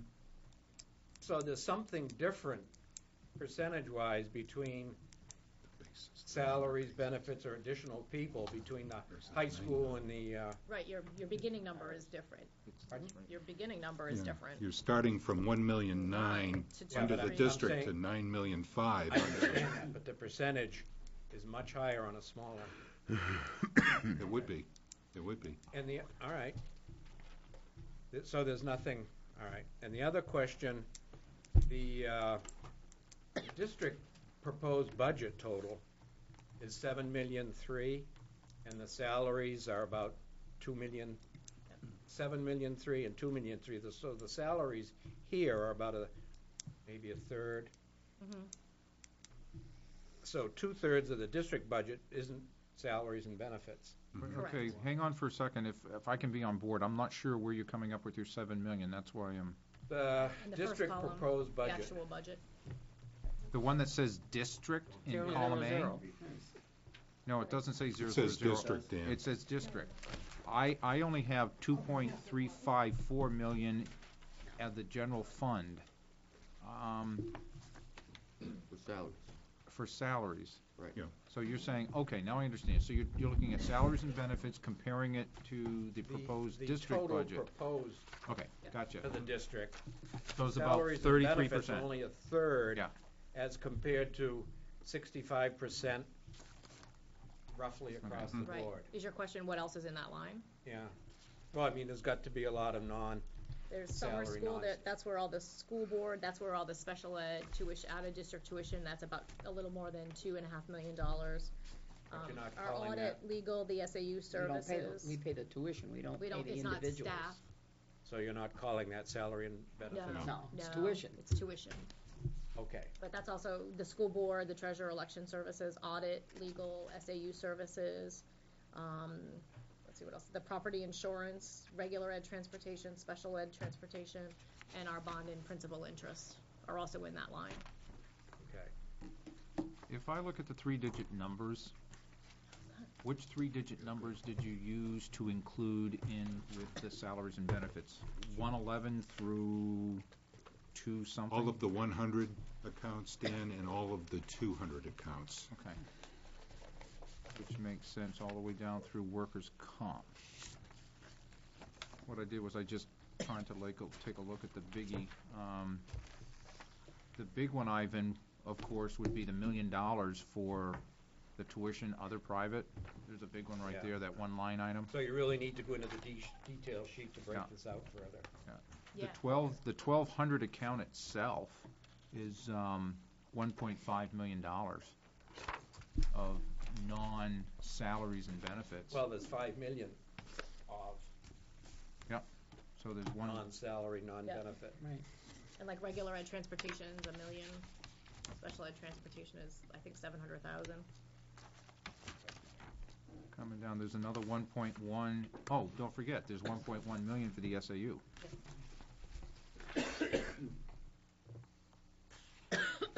Thanks for the clarification explanation. Yeah, and another million plus for, oh, s- student transportation is like one point seven, did you say? Yeah, it is. Yep. I'm looking at the, the two, s- uh, regular Yeah, and and uh, special sped. ed, yeah. Yeah, Just those four right there are pretty big. The bond is actually down somewhat because, um, The refinance. yeah, you're, we're, we're looking at, s- am I looking at correctly? We No, went- the you're bond looking thing? at the Mountain View and uh, Maple Bond, which will be Will be ending. retired in August 2011. Okay, that would make for, We wish. yeah. wow, Yeah. that's a refinancing, that's pretty good. All right. Scott, you're up. Oh, you're good. Just keep telling Ivan- yourself, Ivan, keep telling yourself that. Did it to you. I feel True. good. Feeling good is good. I have to behave, my daughter's in the room, so. uh, Excellent. Can you bring, can you bring her every meeting? wanna set a- Did you want to introduce her? You know, for the record, Dan. Yes? I Go ahead, made- it's for the I made record, it's being four taken. comments at the last meeting. I challenged myself to Yes. listen more than talk, and I did succeed, so. I only was, I only spoke when spoken to by a Guy. I don't know if you picked up on that, but, I noticed that. yeah. We did. I just, I, Okay, I, the second time we get a round of applause at the budget meeting. it was like a weight loss type program. I succeeded, and, um, Okay. All right, any further questions on, on the budget? Go ahead. I had a question. Someone uh, asked me, if two people asked me, um, Dylan. with the budget, uh, you had the helpful fact on your website, FAQ. Yep. Um, and two people asked me, would the budget be posted on there, the electronic version? We're actually working on that, and we're hoping by tomorrow. We had to try to find a way to post a two hundred and It's something big. page document. Yeah. And, um, we've been working with Pentamation to be able to get it into a format that's post, so we think we have it figured out, so we're hoping tomorrow to have that up. That's great. We have a Yeah. 3,000-line spreadsheet. Yeah, it's huge. So it was just a matter of how to figure it out. Because when we printed out, the budget you have, Yeah. it's about, it's, each, each section is a different printout. Yeah. And so there was no way to easily, so we've been working with Pentamation to figure that out. I think it's great. Uh, I think folks will be able to, if they want to, they're watching this meeting, they want to follow line by line, they can, they can do it. I think it's helpful. On, on the same night NCIS is on. Exactly. This is much more interesting. bad Yes. ratings tonight, you saying? Absolutely. That's, we're- no, we're gonna get the good ratings, you Oh. see. Further question, I do John? have a fo- another- Uh, Can you, can you, is there any way you can quantify the benefits that the school board gets uh, in the budget? Uh, I, we, we talked about laptop program, and I think they all get a laptop, but someone was saying to me they're part of the, the health ins, they can buy into the health insurance program as well. Yep, Is the that- school board gets, they borrow a laptop, they're Yeah. not theirs, They they borrow. borrow them. Yeah. Um, they, ca- they are eligible to health and dental, but they uh, pay one hundred percent of that cost. Okay, Yep, there is no cost to taxpayers, they pay Um, one hundred percent of that. great, good to know. That's a good question. Are Great. budget committee members allowed to buy into? No. No. No, they can't, but elected officials, no, I, I don't know. We are They're elected. We are elected. I think- Um, I if it think has to do with, selectmen if can. it has to do with being paid, then it's possible that, um, our salaries don't count. We don't make anything. We I get mean. zero. But maybe, yeah, we do make zero, that's correct. No, But I'm maybe saying, we but- need to get right, 'cause I ourselves remember- I a think- dollar yeah, and, s- I think that's, right, selectmen or school board members can actually, they, they, they can qualify to pay the whole freight, but budget committee members cannot, is that what? I I have no idea. I, it's- it's never Yeah. come up. I'm, I, I asked Sue a while ago, Yeah. probably, Yes. when I lost my job, I asked Sue. Yeah. And, um, she said that it was up to the, we Board had of to bring it to Selectmen. the selectmen and it had Right. to be voted on by the Board of Selectmen. The last, not your bunch right now, but the Okay. group before, I guess it had come up and they had said no Yep. reason for it. But it would be great if it could be looked at again. Okay, I didn't, okay, I'll write that down. Well, I mean, it begs the question, why could the school board do it Right. if the budget committee couldn't? Because they It get was- paid, we don't. That nothing to do with. I don't think no, it no, has- that's nothing not- to shouldn't be the Five or six measure. years ago. You get elected. Yeah, I don't think it has anything to do uh, with it, I think it's elected official. well, there are, Selectmen get a chose not to. well, there were fourteen of us who are elected by the general populace. Twelve? Actually fourteen, because the two appointed members, Sue and. Scott, are elected by the town. They're appointed to the committee, but they're elected by the town. Um, Dick and Bill aren't elected by the, the general town, but they're elected, I think, by their school, or you're appointed by your school district, no, school district, Oh, by their village precinct. districts. Yeah, village district, yeah. So that's, there. Thank you. Guy? even get free water. All you have to do is suck it out of a hydrant. You know, when it rains. Seven hundred and fifty gallons a minute. That's about hundred and forty-six more than I get. You can handle that. Guy, Yes, sir. question? Yeah, um, for Stacy and Keith.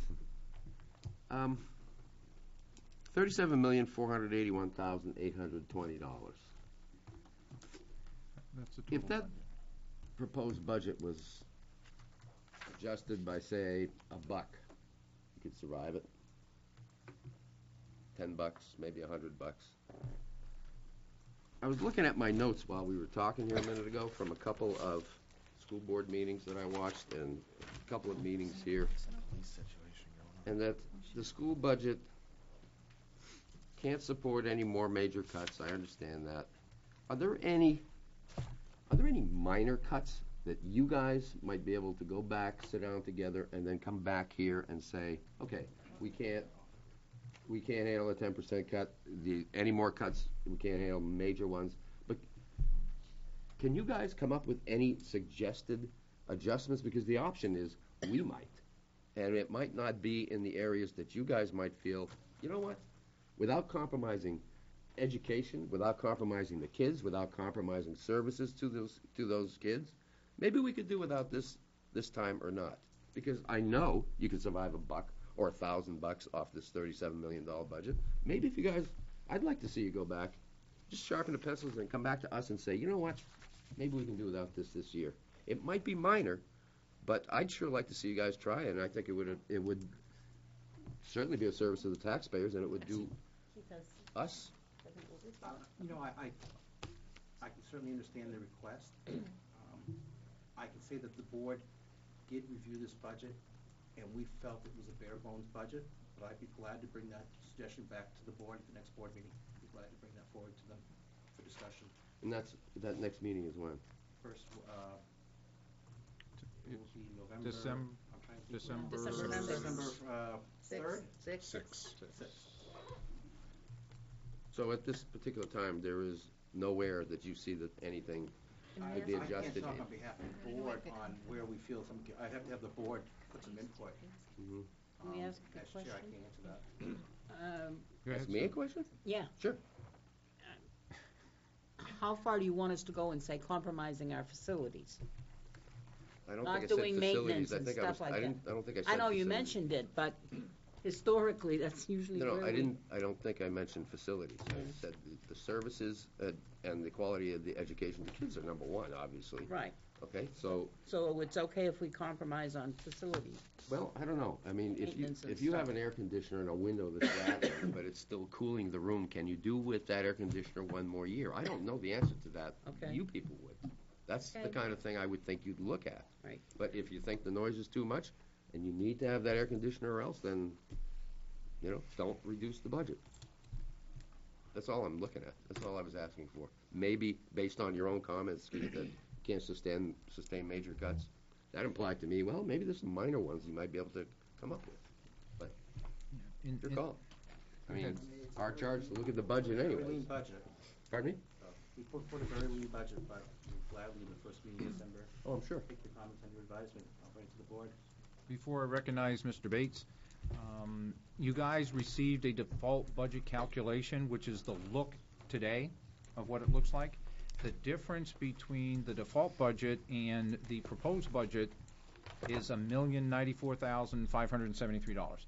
What that means is if everything went to the warrant as exists today, and there was a choice between what the school board put forth and what the default budget was, then the school board budget, if the default budget were to win, let me rephrase that.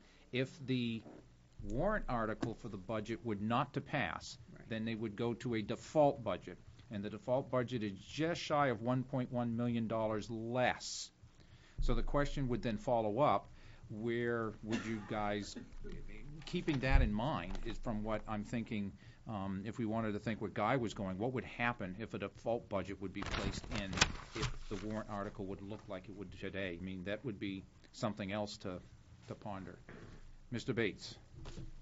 Yes, I had some uh, questions on revenue, on the revenue side, uh, and then some general comments. Uh, As far as uh, after-school extracurricular programs, in terms of uh, giving immediate, serious consideration to starting to uh, charge for that, I highly recommend we do that uh, before next year. Um, as far as, uh, uh, tuition goes, you may have mentioned this, Stacy, uh, on Saturday, and I didn't pick up on it. When was the last time we raised our tuition to, uh, the, uh, schools that send pe- people here? For the, For New Boston and Dunbar, Yes. every year we recalculate that. It's based on our actual cost and expenditures. So every year that's recalculated. Okay, and is, um, do you look at other surrounding communities that may do tuitioning and how this squares with that? when you're No, we, assessing our, our, our tuition rate for Dunbarton and New Boston is based on our area agreement. It's spelled out right in the area agreement how we calculate that out. Okay, and when's the next uh, area agreement? It expi, our current area agreement expires in two thousand and fourteen. If, um, if I can just interject one thing, the area agreement was renegotiated three years ago? Two thousand and four. 2004. That's a little more than three years ago. It was a 10-year Six years ago. So, and, and that is conceptual. It's not solid dollars. It's all concepts, pretty much, about Yep, this, that, the other, the formulas. Okay, and so in 2014, it would come back up again. Okay.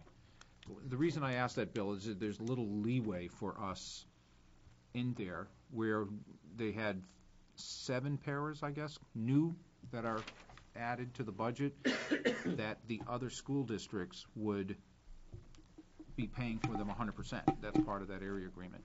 If the child from the sending communities were to no longer come to the Goffstown school, that para would then need, Be done, be, have to be laid off, correct. or, okay. Continue, please, Bill. Okay, and then uh, pertaining to the new, new programs you, s- you spoke about that uh, are in-district programs that have uh, actually helped to save uh, the outflow of dollars, uh, sending children elsewhere. Uh, Are these, and I know there's no way to categorize these, are these some kind of uh, special need programs? Correct, correct. One is for our autistic and lower functioning population at the elementary level, and one is for our behavioral students at the elementary level. Okay, so, uh, j- just as uh, I know that you're tuitioning out uh, people to other programs uh, outside the district, um, how much thought have you given to starting to communicate to other districts that you now have this program in We town? absolutely would be doing that. Uh, What we want to do is make sure that the program has a good foundation. We just started them this year, so we want to make sure they're good foundational programs before. uh, Part of it is, these are, these are very difficult kids to deal with, and sometimes we don't want to buy somebody else's problems. So yes, it is, could be, you know, it could be a revenue stream, but we also have to manage what kids we, we want to make sure if we're bringing other kids in from out of district, we're not affecting our own kids and their programming um, by bringing in more revenue to, and taking in kids that we maybe can't handle. So there's a, a balance between that. Certainly cost benefit there, for sure. And Stacy, we've actually done that with uh, Glen Lake. We actually took in a tuition student from a Yeah. uh, district um, and charged um, tuition for him and or her, and that was a special needs student. We Correct. put him in our program at Glen Lake. Okay. And then my uh, other question, let's see here, had to do with, let's skip now. Oh, um, so, again, looking at budgets for the future, when we're thinking about uh, what may be coming in terms of additions to both the elementary schools, um, are we also doing that analysis of what it would, what it would cost to tuition out uh, our students to other districts versus the cost of new additions? Are we doing that cost, that analysis of, we, we have an overcrowded school in Bartlett, we, we see where the population's going, we have it, we have it, you know, the architect's telling us the dollar's gonna be X, but based on what what the possibility is for tuitioning to surrounding districts, we believe a per head cost of Y uh, uh, yields us a lower out of dollar cost and may not uh, uh, completely take that off the table, but maybe uh, push out the, the eventual date when we have to do that. We have not explored that. I don't know that the board has entertained tuitioning our own students out. I think it would be likely much more expensive you have, you'd, you'd be paying their tuition rate. Um, First, you'd have to find a district who is willing to take in Yeah, our a couple hundred students. kids. Um, and as you know, Well, not, there's not the very many kids. schools who have large openings. Um, the other piece is you'd probably incur much more expenses because you'd have to then transport all of those kids to wherever that was going to. So you'd have significant busing. Um, As, as I'm costs. saying, not necessarily uh, putting off an addition altogether, I'm saying pushing out the time period for that addition.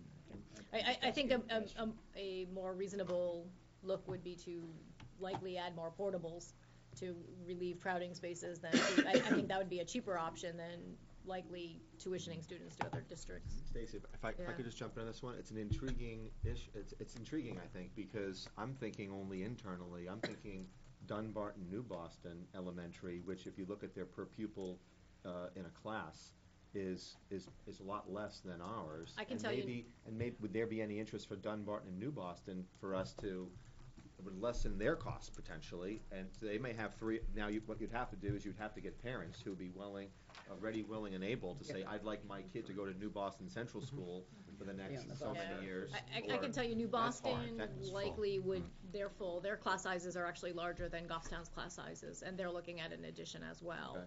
Um, Dunbarton Do you wanna try? potentially could be an option, I, that would be an intriguing, I, I would think, from, from the board's perspective, though, when you do that, you lose control on the quality of education for those kids.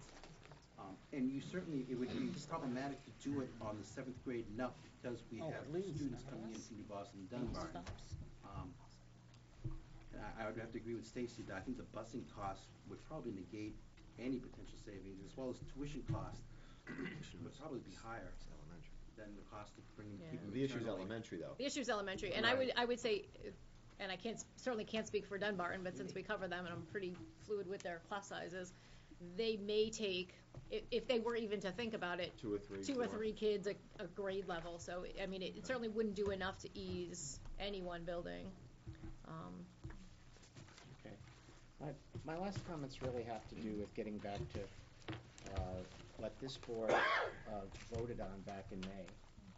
And that was we- directed the, we directed the selectmen to, uh, direct to all, all, uh, uh, groups, the fact that we wanted to see a model, a budget model that was based on, on a ten percent less model.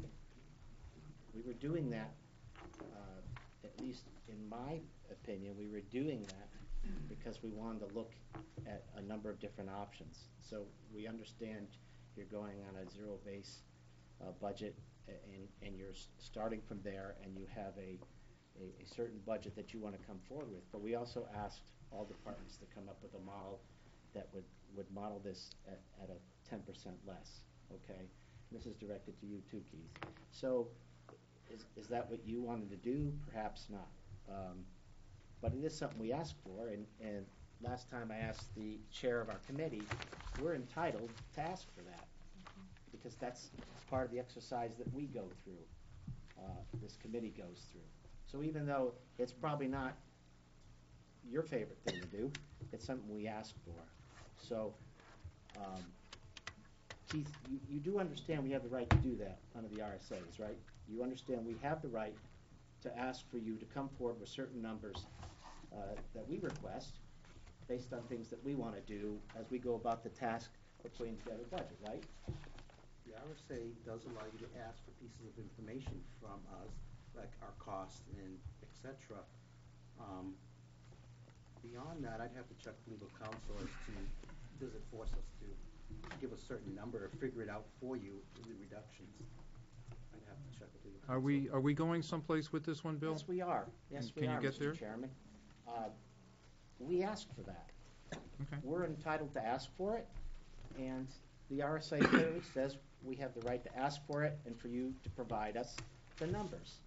I don't think it, it's uh, in the spirit of cooperation that you just summarily dismiss our request and come forward with uh, the budget that you wanted to put together without uh, what we asked for.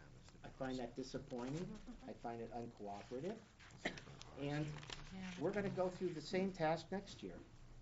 And I would appreciate that you take our request seriously, just as we've asked the other departments to do. And whether that's a ten percent next year or five, or whatever it, whatever it is, that, that you, you provide us what we've asked for. It's part of how we do our job here. Okay? Um, the other, uh, the other thing I wanted to say is, you know, nobody here can doubt the huge amount of work you've put in to put together this budget. You, you guys are extremely thorough.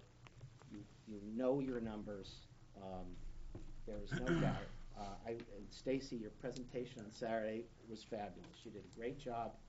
I learned, I actually learned a lot on Saturday.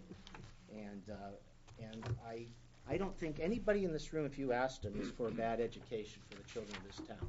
I challenge any of you to ask any of these people in this room, and nobody's gonna say, we're for bad schools. You know, everybody wants the best for the children in this town, okay? Um, and I'm going somewhere with this, uh, Mr. Chair, and that's because, I, you know, my wife's a certified teacher in the state, so is my sister, and I have a son who's an assistant principal out in the Midwest. So I understand uh, education costs, good education costs money.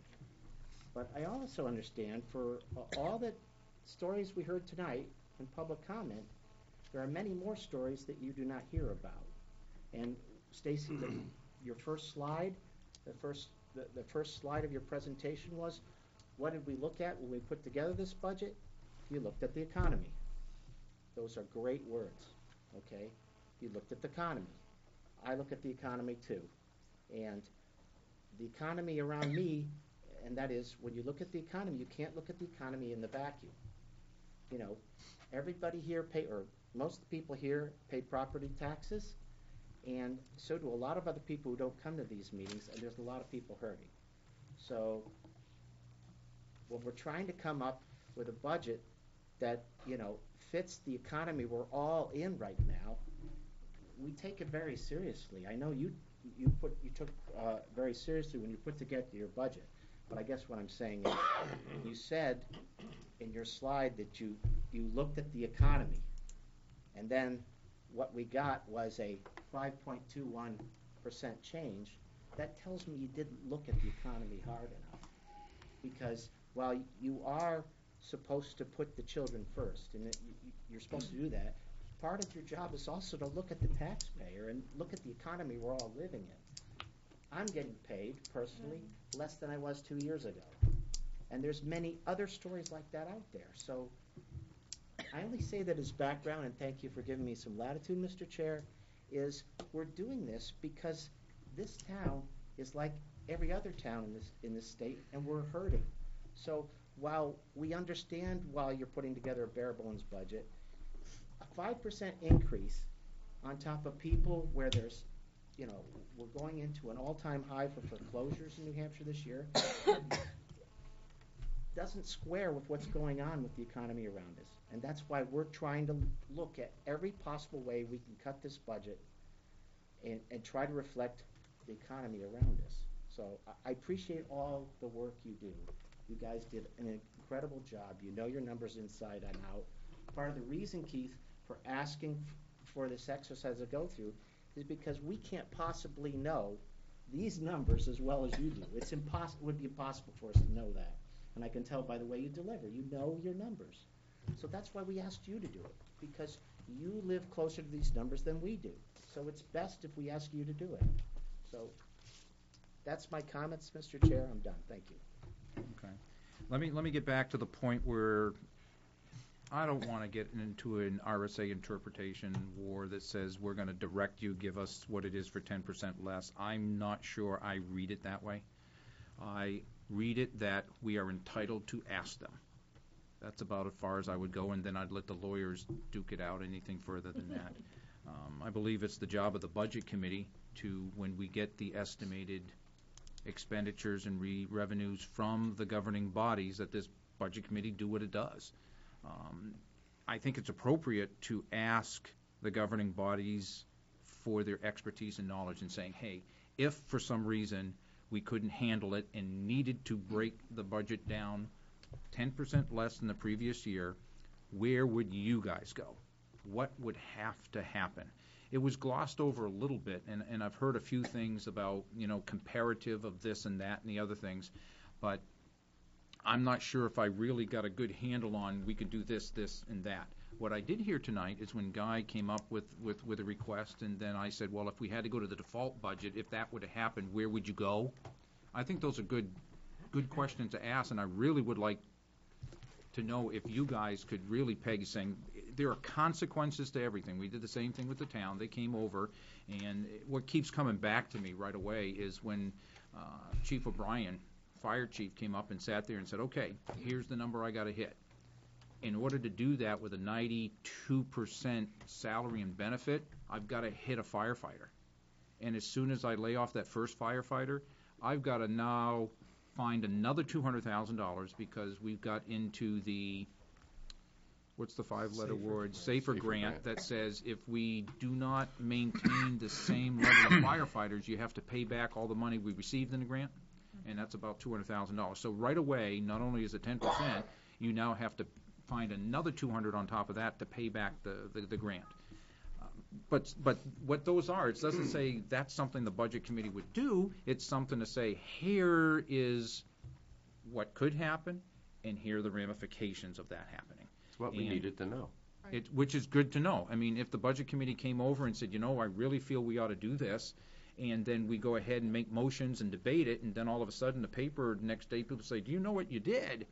Well, I know what we did, but maybe we don't know all the ramifications. And I think that's what, there are a number of individuals here would like to know, what would the ramifications be if some things happened?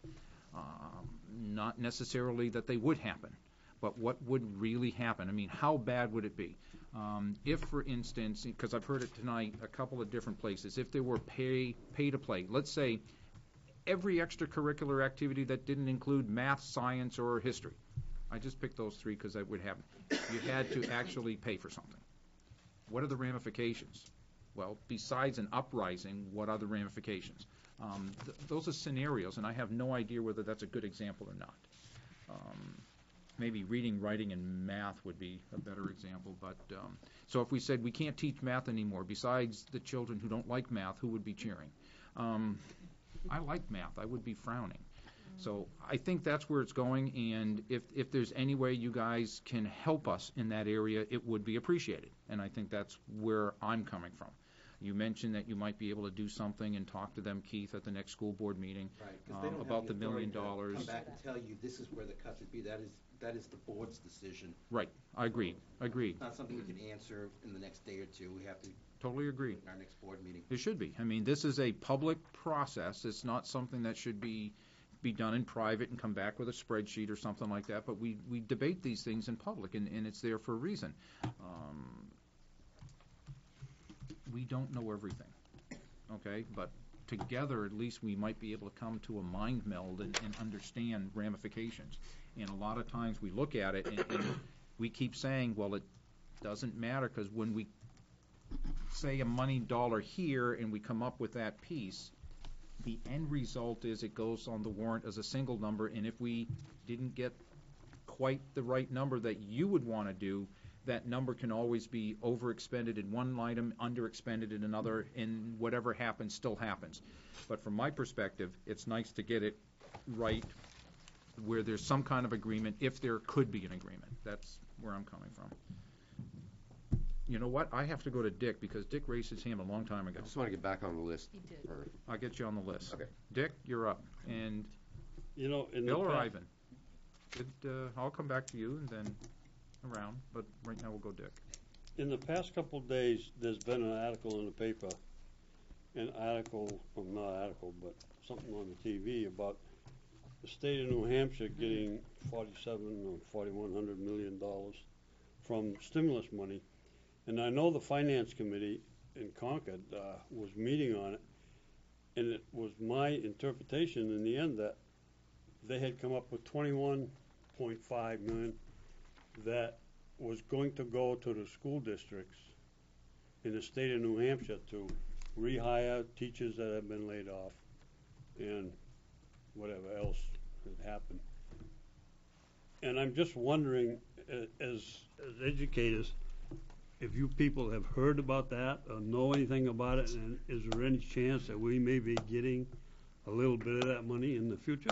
There's, there's two things that have gone on in the news recently. One is the stimulus money or that extra money that, to rehire teachers. Um, our first understanding of that was that would all go towards the state fiscal stabilization aid. Today, it Right. came out that perhaps half of that money might come back to districts. We have the same exact information you have. We have nothing, we have gotten nothing, and no additional information from the state as to what that looks like, how it will come to us, what proportion we will get. So, um, if in fact money will come back to us, absolutely, I'll, I'll know about it. I, we just don't have any information. Um, the other piece today was the day that adequacy came, became public, November fifteenth, they're required to give us adequacy dollars, um, what we're anticipating for the next fiscal year. Um, as of today, um, Goffstown is slated to lose about twelve thousand dollars, um, in adequacy dollars. Um, now, that's a big question because legislation will happen. It's anticipated that there'll likely be a constitutional amendment to reformulate the entire adequacy formula, which could affect us. We don't know how. So, um, that's the other piece that was in the news today. Just to update you on, um, again, when you look at the revenue sheet, that's why the adequacy aid went down because that's the, that's what we're projecting as what we're supposed to get is less money. So, so in the past, not too long ago, there was, there was talk about targeted aid. As, as educators, what, what is your interpretation of targeted aid? What would happen to Goffstown? Uh, to me, targeted aid is to go to the poorer communities. I, I can't tell you what will happen to Goffstown. Well, we're considered, I mean, in terms of equalized assessment, as I mentioned on Saturday, you know, we're at like six hundred and twelve thousand dollars of equalized assessment per pupil, whereas the state average is like eight hundred and eighty thousand. So, under all these formulas, we are considered a, a, a receiver town, okay? But under all these other formulas that are in there right now, and correct me if I'm wrong, Stacy, but it, it includes free and reduced lunch. Correct. It, in- it includes number of special Special ed, yep. education and a host of other factors that go into the formula. Correct. Um, so it really depends upon what the legislature does in terms of tweaking that formula, and I think that's the battle that has been going on for at least twelve years, where they keep tweaking the formula. If it doesn't work well for Goffstown, our state reps in Goffstown, eh. If it doesn't work well for the state reps in Moultonborough, eh. You know, and that's how it works, and it's trying to figure out a formula that's, that's equitable, because ultimately, you know, I would, I would hope that our state reps are looking, you know, out for, I'm not putting too much pressure on you guys, but look out for Goffstown. No, that's um, okay, go right ahead. um, and that's, but, but Dick, you were a rep, you know that, right, this is going, that, that went on for all, every year you were probably as, as a rep. Yeah. And, and when we voted on it, we'd look at it and we would say, oh, Goffstown's gonna get more money. Right. you So we vote- vote for yeah. it. If it doesn't get more money, We're no gonna vote against it. Right. And every other rep around the state does the Does the same same thing. thing. Absolutely. Why them, right? Mm. No, but that, that's where it becomes dicey, because. I would hope not. You know, it's, it's a challenge. Bill left, so we'll start with Back, Ivan. he's back. Uh, We'll go Ivan, Bill, and back over to Guy. Oh, uh, Dick s- s- started with the same question that I was gonna ask, because I, I, rem- I've forgotten who, the, when we had public comments earlier, one of the, I've forgotten his name, uh, representing a union in the state was implying from the six or eight hundred million dollar shortfall coming up that as of July first, so right now, we don't really know what's gonna come down, so there could be some surprises. Absolutely. Oh, they do it to us every year. Yeah, and, Most certainly. Hmm. so, and I, and I was, you already mentioned the adequacy grant, I mean, it's been climbing and now there's a slight drop, but we really don't know what's gonna happen, and this exercise, our budget exercise is academic in a sense, cause we don't know, I mean, the tax, the Goffstown tax, property tax pays for, I don't know, forty, forty-five percent of the, uh, budget, school budget. I mean, these other revenues account for, you know, seventeen million out of thirty-seven million. And if there's an adjustment in any of these numbers, that has a huge impact, one way or the other. I'm glad we don't have the state portion or the federal portion. I'm glad that we don't have to pay for that, that's free. We pay for it indirectly. We pay for it. I was being rather Yeah. facetious. You- Free You were money, baiting yeah. us, Ivan, yeah. Free money, but we can leave it around, down the road. So, that's all I have to say. Thank you. Bill? Okay, um, I'm gonna segue to the, uh, uh, revenue forecast Yeah. page that you sent out today. Yeah. Um, I'm looking down at the bottom four lines, and I realize there's a comment down below that says that the, uh, final determination of the unreserved fund balance has not been put forward. Um, But I'm looking at, at this point, at this point, if that is zero, then we have a revenue shortfall there of uh, over six hundred thousand bucks. Okay, give me a little more. What do you, what do you mean? Okay. Um, I, If I, if I. a go to the shortfall means you're total- comparing two numbers. What Right, two numbers are If I go to you? the total revenues and credit, it goes down from seventeen-seven to seventeen-one, which is a shortfall of about six hundred and thirty thousand dollars. Okay, now I see where you are, yeah? okay? And then I'm looking at the district assessment, which increases two point three mil. Then the state assessment staying flat, the total appropriations going up about four and a half, four point six percent.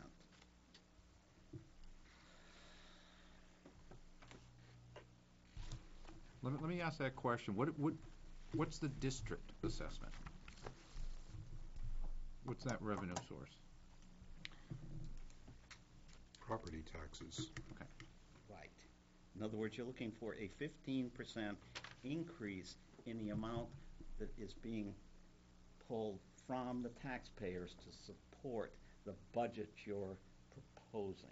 But we, I, before we start throwing the, the numbers out there, when is the last time, I, I need to be real here, that the Fund Ten budget appropriation was totally expended?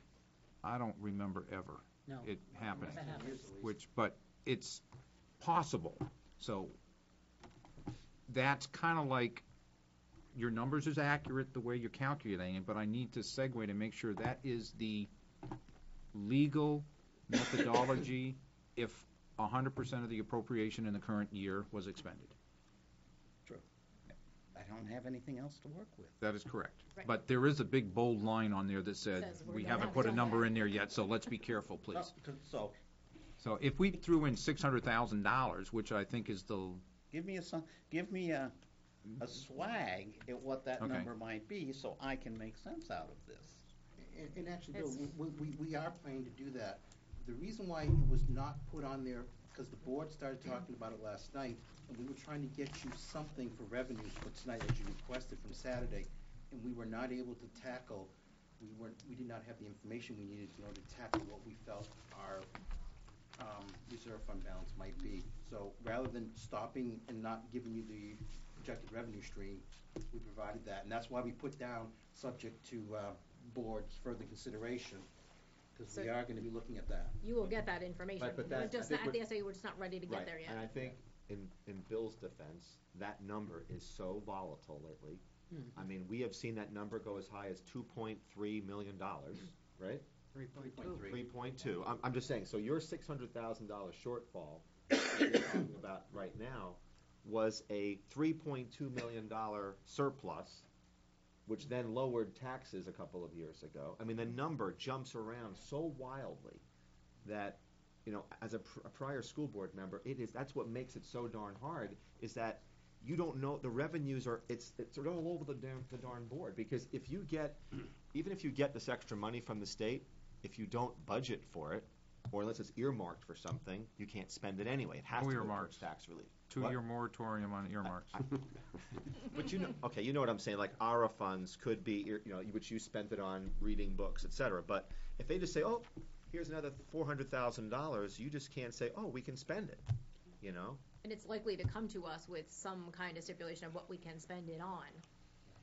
Let, that's let- what the last let- let me wrap Let me- up okay, what I was gonna go, say. go, go through the, I can't do a rational job on a budget, my own budget or anybody else's budget, unless mm-hmm. I know what the revenue side is, That's tough. period. And Bill, we will get you that number, we just haven't gotten that, we, I- we tried to no, I get you what we could. No, I based on understand. what we said we would do on Saturday. You know, I read the bottom line too. But, you know, We're I working can't on get it. there. Uh, Yeah, I think what you could do is you could start playing, and if, for instance, I threw 'em, uh, you're at fifteen point two percent, okay, with, with zero come back. If I threw in six hundred thousand, How much? How much? Six hundred thousand. I. I put six hundred thousand for unreserved fund, fund balance, that brings it down to eleven point two. If I put a million dollars variance, it brings it down to eight point five.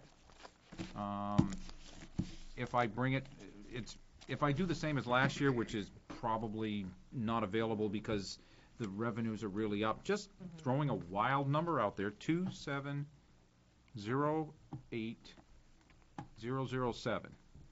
That actually brings it down two point nine That's a percent. wild number. That's a wild number. That's a wild number. I mean, is wild. where's it gonna come? So, from zero to two point seven million swings it between fifteen percent and minus three percent. So, and, and that's why, you know, when I throw in a six hundred thousand, is that obtainable? I think it's totally obtainable, because that's unexpended, totally unexpended, unencumbered appropriations. Okay? And there are so many things that happen during a budget, I don't remember in the last ten years we've ever not had at least six hundred thousand. Okay? And so, excuse me? We've never started at a million dollars below the default for either, which was one of our real concerns last Okay. night when we discussed this. Okay. We have no experience. With, with where We've it's had coming from. default budgets before, but never almost a million below the default. And that's another good So thing to we're talk about. scary. We're afraid. So To- you're- To say you're- we're gonna have six hundred thousand and come back It at might the end even of be year tough and say, we've yep. only got fifty. Okay, so, given that scenario, if I say two hundred thousand, okay, we're at fifteen point one percent, which comes closer to what Bill was saying with zero. And see, that's the volatility, but the reason I keep talking and talking and talking, I don't want somebody to grab this and run with it.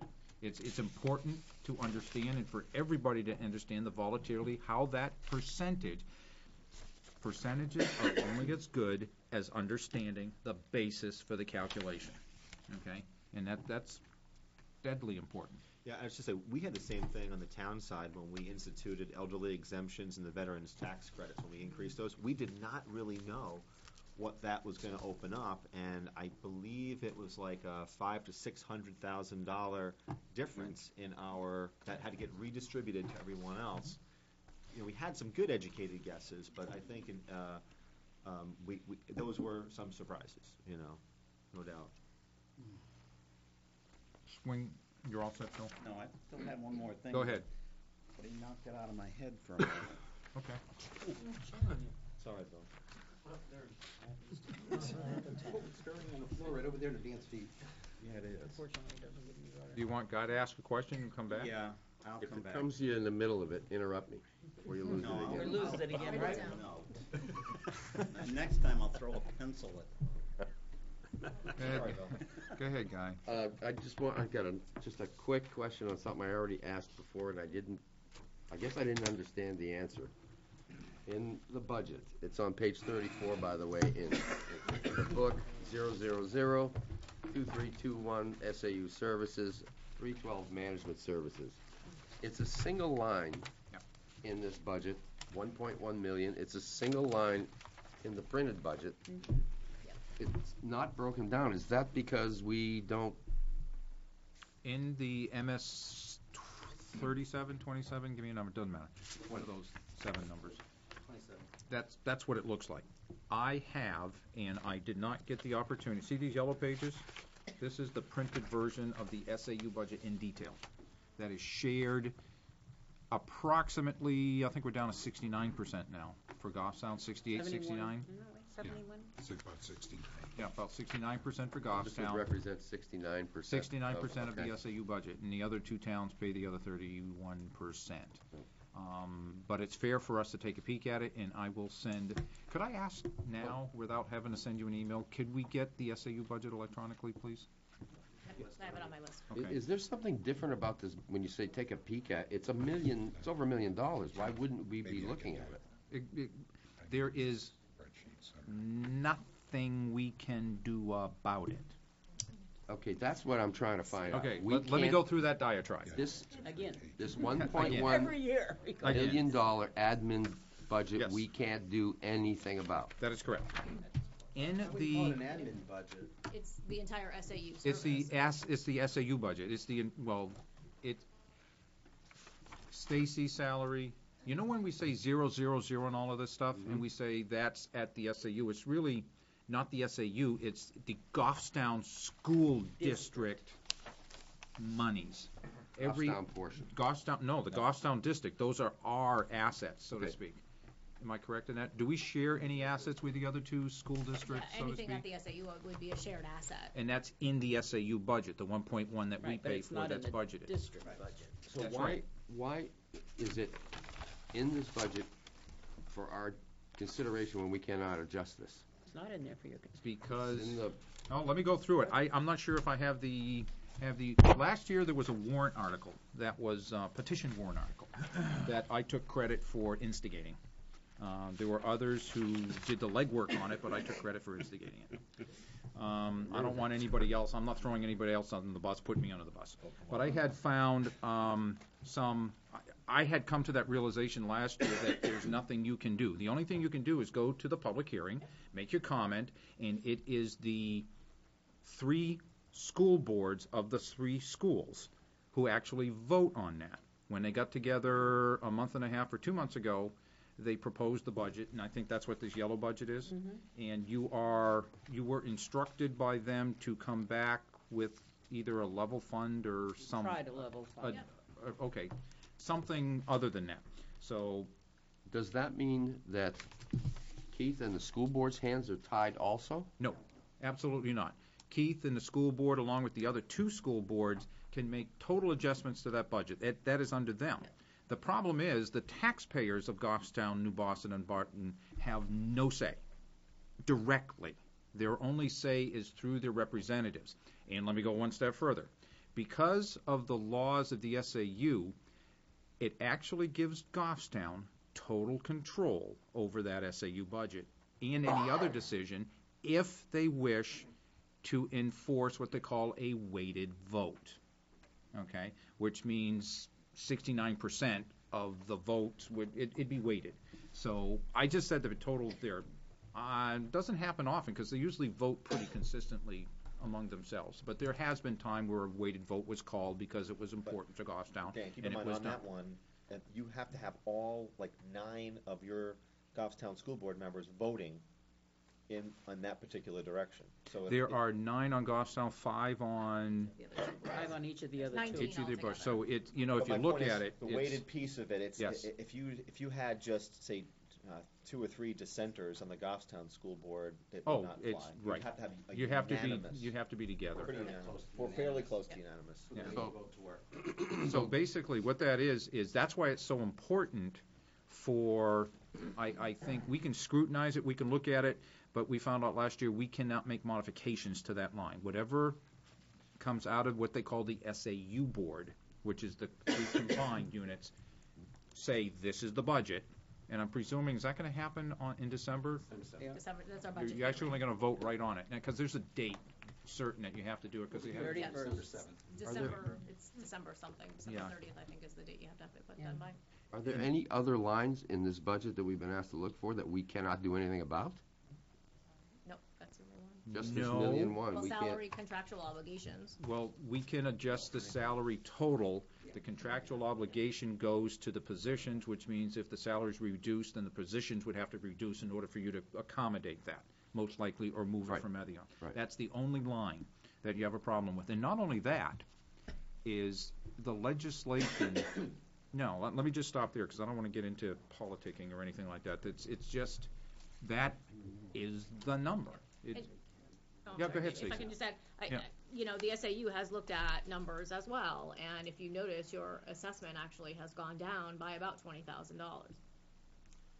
Yeah, there's, I- there's I two. didn't follow that. There's, well, there's two pieces. One, we went from like seventy percent down to sixty-nine percent. That helped right off. Um, so the other town is picking up a, a smaller portion of the total, and that's another formula. Larger portion. Yeah. Yeah, no, I the just, other town uh, meeting you're right. It- So it's a is big- over- we have a small The SAU has looked at, again, taking into concerns, and we've reduced some positions, um, and cut expenditures, and I'm so sure we you were have, able I'm to just cut our saying, budget back. from the Budget Committee's point of view, there's a million one dollars sitting here that we don't know anything about, we have no detail on, and we cannot change, but it has to be part of the budget we're gonna bring Yeah, forward. And, and you Yeah. have the budget, have- that, you do have the budget there, you can go to any SAU meeting, any SAU board meetings, they are posted.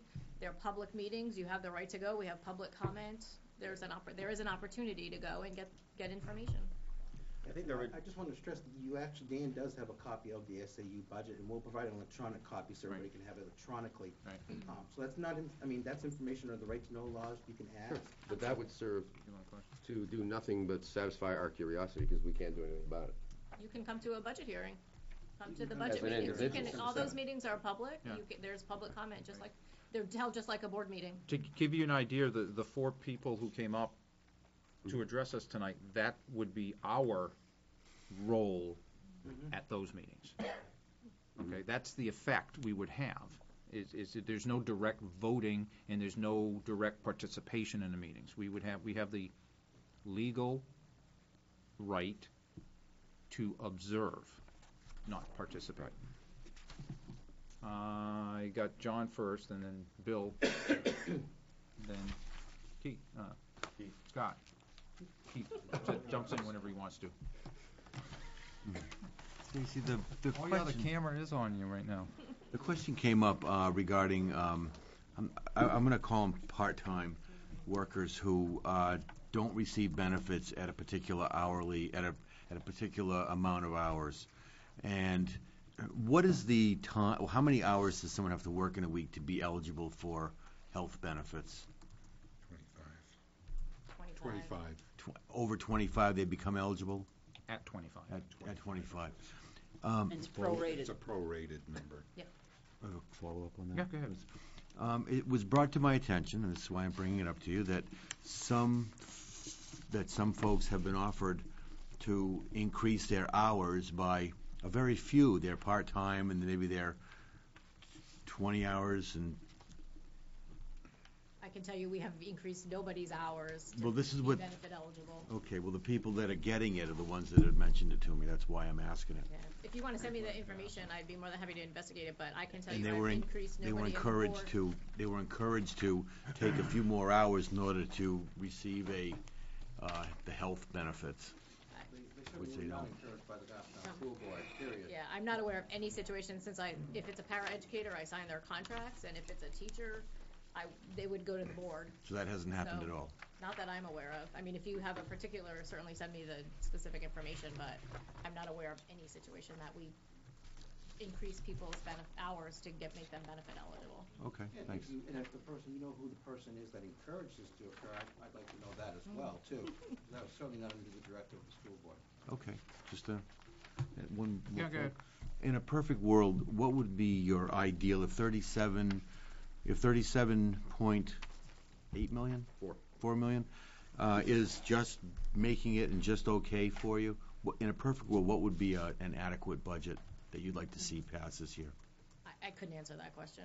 Take a shot. something that the school board as Board would a have whole to- would have to make a comment on, and we haven't discussed that number, so I, I don't have that number to share. I could tell you it's well over forty-five or fifty million. I mean, what could you pos, you could do a great. Where's the swimming pool? Imagine what you could do with that amount. And, um, but I, I understand. It's, is that where you were going? Were you looking for a higher number? I was asking, would a high, I mean, is, would a high, is a higher number something that would be, ex, you know, extremely adequate? So, so, Would it, would it be okay to say, do you have some specific plans that you didn't budget for in the budget you presented to us? The answer would be, there may be some that the principals and Stacy may have discussed, but nothing from the school board that we presented to you. Okay. Right, and what I, i- if you look through the budget, you can see items that were cut, Mhm. that were not put back in the budget. Uh, I, I do, and the reason I asked that No, was that's because, you know, fair. we're all talking about ten percent reduction. Everybody's, everybody, you know, everybody's like, oh, ten percent, ten percent. Well, What would let's it say it look was, like? what would it, yeah, what would it, what would it look like if it was ten percent less? But on the other hand, what would it look like if it was ten percent more? What if you had, what if you could get ten percent more than you were asking for? Would that be, would everybody then be adequately educated and compensated and? Right, Would the student-teacher ratio be be, you know, better than it is now? Would, would the classroom sizes be smaller? What is it gonna take to get to the point that we're, we're number one? I mean, In is that, spending or in? Well, it's- it- of course it would be. It was truly appropriate for you to make that comment. I'm only, I'm only asking, I'm asking that, it's a serious, I mean, it's a serious question, I'm, I, you John, know, I've where been is it be- involved with the school district one way or another for twenty-five years, and we've never had a budget where the principals came in and said, I need this, and they got everything they needed. So we wouldn't know how to react to that kind of situation. Mm-hmm. I, I'll, I'll take forty million if you're willing to give it to me. So you're implying the Believe the me, I'll principal's, find. the principal's budget would be the ideal budget, is that what you're uh, saying? No, because they were told this year to ask for bare bones. The principal's budget started at a bare bones budget. When you guys said you'd like to see ten percent, we told our principals, give us what you absolutely need. And we reduced that number, Stacy did, and then we took a shot at it. Bill? Okay, this was what got blown out of my mind. Um, Yeah, we'll come back to Guy, I think. Go ahead. Okay, we're on a, we, we talk about a zero-based budget. Building up to what we need to fund this, that, and the other thing. And I'm saying that the zero-based budget should deliver, in my mind, a zero unreserved fund balance at the end. Hmm. But- Okay, no, I'm talking, sir. No, no, I was just gonna I'm mention talking. something. Okay, go ahead. I'll, I'll, I'll tell you what, let me take it from the chair. Address the chair, Bill, how's that? All right. I'm sorry, I have a load of learning disabilities, and when anything else is going on around me, it just blows me out of the water. But that's me, okay? I look at the last three years, and the number that made up the unreserved fund balance has averaged eight point five percent of the total budget. Six point seven, ten point seven, eight point one. To me, those numbers are totally unacceptable. In the world that I lived in, if you missed a budget, an estimate by two percent, three percent, on a few million bucks, and I've worked a lot of them, you were in mud. Over or under, particularly if you were under. If you estimated and there was a whole bunch left over, that didn't look good at all. I'm just saying that I, I just can't fathom this eight point five percent over budgeting. Just a statement. Okay, I, I need to come with some, some facts of how you got to your eight percent. I took the numbers straight off the bottom of that chart using Okay, the appropriation Okay, then that number works. and the unreserved fund balance. And what I need to do is look at that information and because that number, unreserved fund balance, isn't a return, completely, entirely a return of appropriation, but includes excess revenues, unanticipated revenues, we gotta take that number and we gotta split it out. How much was, of the appropriation wasn't expended? And that's the budgeted expense side, okay? And then revenue. Be- They, they really have to be bifurcated in I- order I- to get I a, have to look at it and say, if I was estimating something, and estimating and budgeting in my world's exactly the same thing. but there are two pieces, Bill. No, if, if I had a good luck and things went boom, boom, boom, boom, boom, you know, I didn't, I didn't offset that. You know, all, all pieces, I might have been ten percent high on this, ten percent low on that. Mhm. Bottom line, maybe one percent off on the whole estimate. Were on you multi-millions. responsible for sales? No, but I wasn't, That's, I was not responsible for that's, the, you know, I had to Right. go in and estimate things. sure, Sure, You know, I and understand. across the world that I lived in, a, I don't know how big that outfit was. It was huge. It was software services and digital, which is about forty percent of the business. Right. In order for me to determine that, um, your percentage for your estimate would have to rely on the salesman who either did sell or didn't sell your product, and that was part of your estimate that you were responsible for, although you didn't have control over it. That's, that, we, we gotta separate those two numbers in order to appreciate, and I don't know what that number is gonna be, but it would be fun to do that, and we have that capability of doing it. So I, I just needed to put that in there. You- You okay with that? Yes. Okay. That- That's a very, that, that's, yes, that's, that's definitely the correct way to do it. and figure One it year out. it was error funds, last year, but we can also talk about how we underestimated tuition, um, to find out why it came in almost nine hundred to a million dollars less. And Now, that's another question that we don't have to talk about tonight, but there, there are reasons for everything, and it'd be interesting to find out. Scott, and did you get to finish what you were doing? Okay. Yeah, I would say that uh, uh, historically, it, from what I have seen, it's been like around 96, 97, 98 percent of expended of the budget. So if there are like these, these things that you men- just mentioned, and I've looked back at this, I, I used to be on the school board, I, I- I would look.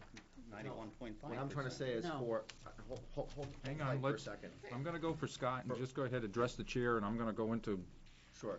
At, if your, if the budget was one, was one hundred dollars, um, what I'm trying to tell you is, for the time that I served on the school budget, it, I, uh, on the school board, it was about ninety-six, ninety-seven, ninety-eight dollars of that hundred was spent, okay? Go into what Bill's point is, is that when you add on a million dollars from the feds or uh, um, increased adequacy from the, the, the state after you've already developed your budget, that's what skews that off. You can't predict it. It's almost as if you've got a household budget and uh, for two out of the last three years, a great aunt has died and left you 25 grand. Okay? Can you budget for that? Not really. It's just, it's, it, you know, so. Um, so that's kind of, you know, where I'm going. I always want to just go back to, um, I think there's been great discussions here, here tonight. When you look at, we talked about before, the equalized value per, per pupil, kind of goes back to what John Heichel was saying. We are what we consider a, more of a poorer town because we are less than the state. That puts so much more pressure on us. That's why our taxes, if you look at it, are probably more than the state average, which is what, you know, some people have alluded to. It's, that's a fact. But that's because we have less of that um, commercial and, re- and uh, uh, industrial to support it as a lot of other business, like a place like a Bedford. So that puts so much more pressure on us. That's why we probably don't have astroturf fields and l- lighted stadiums and beautiful auditoriums like other other schools do, or beautiful, you know, uh, uh, water parks and, and things of that nature. So there is pressure, and I think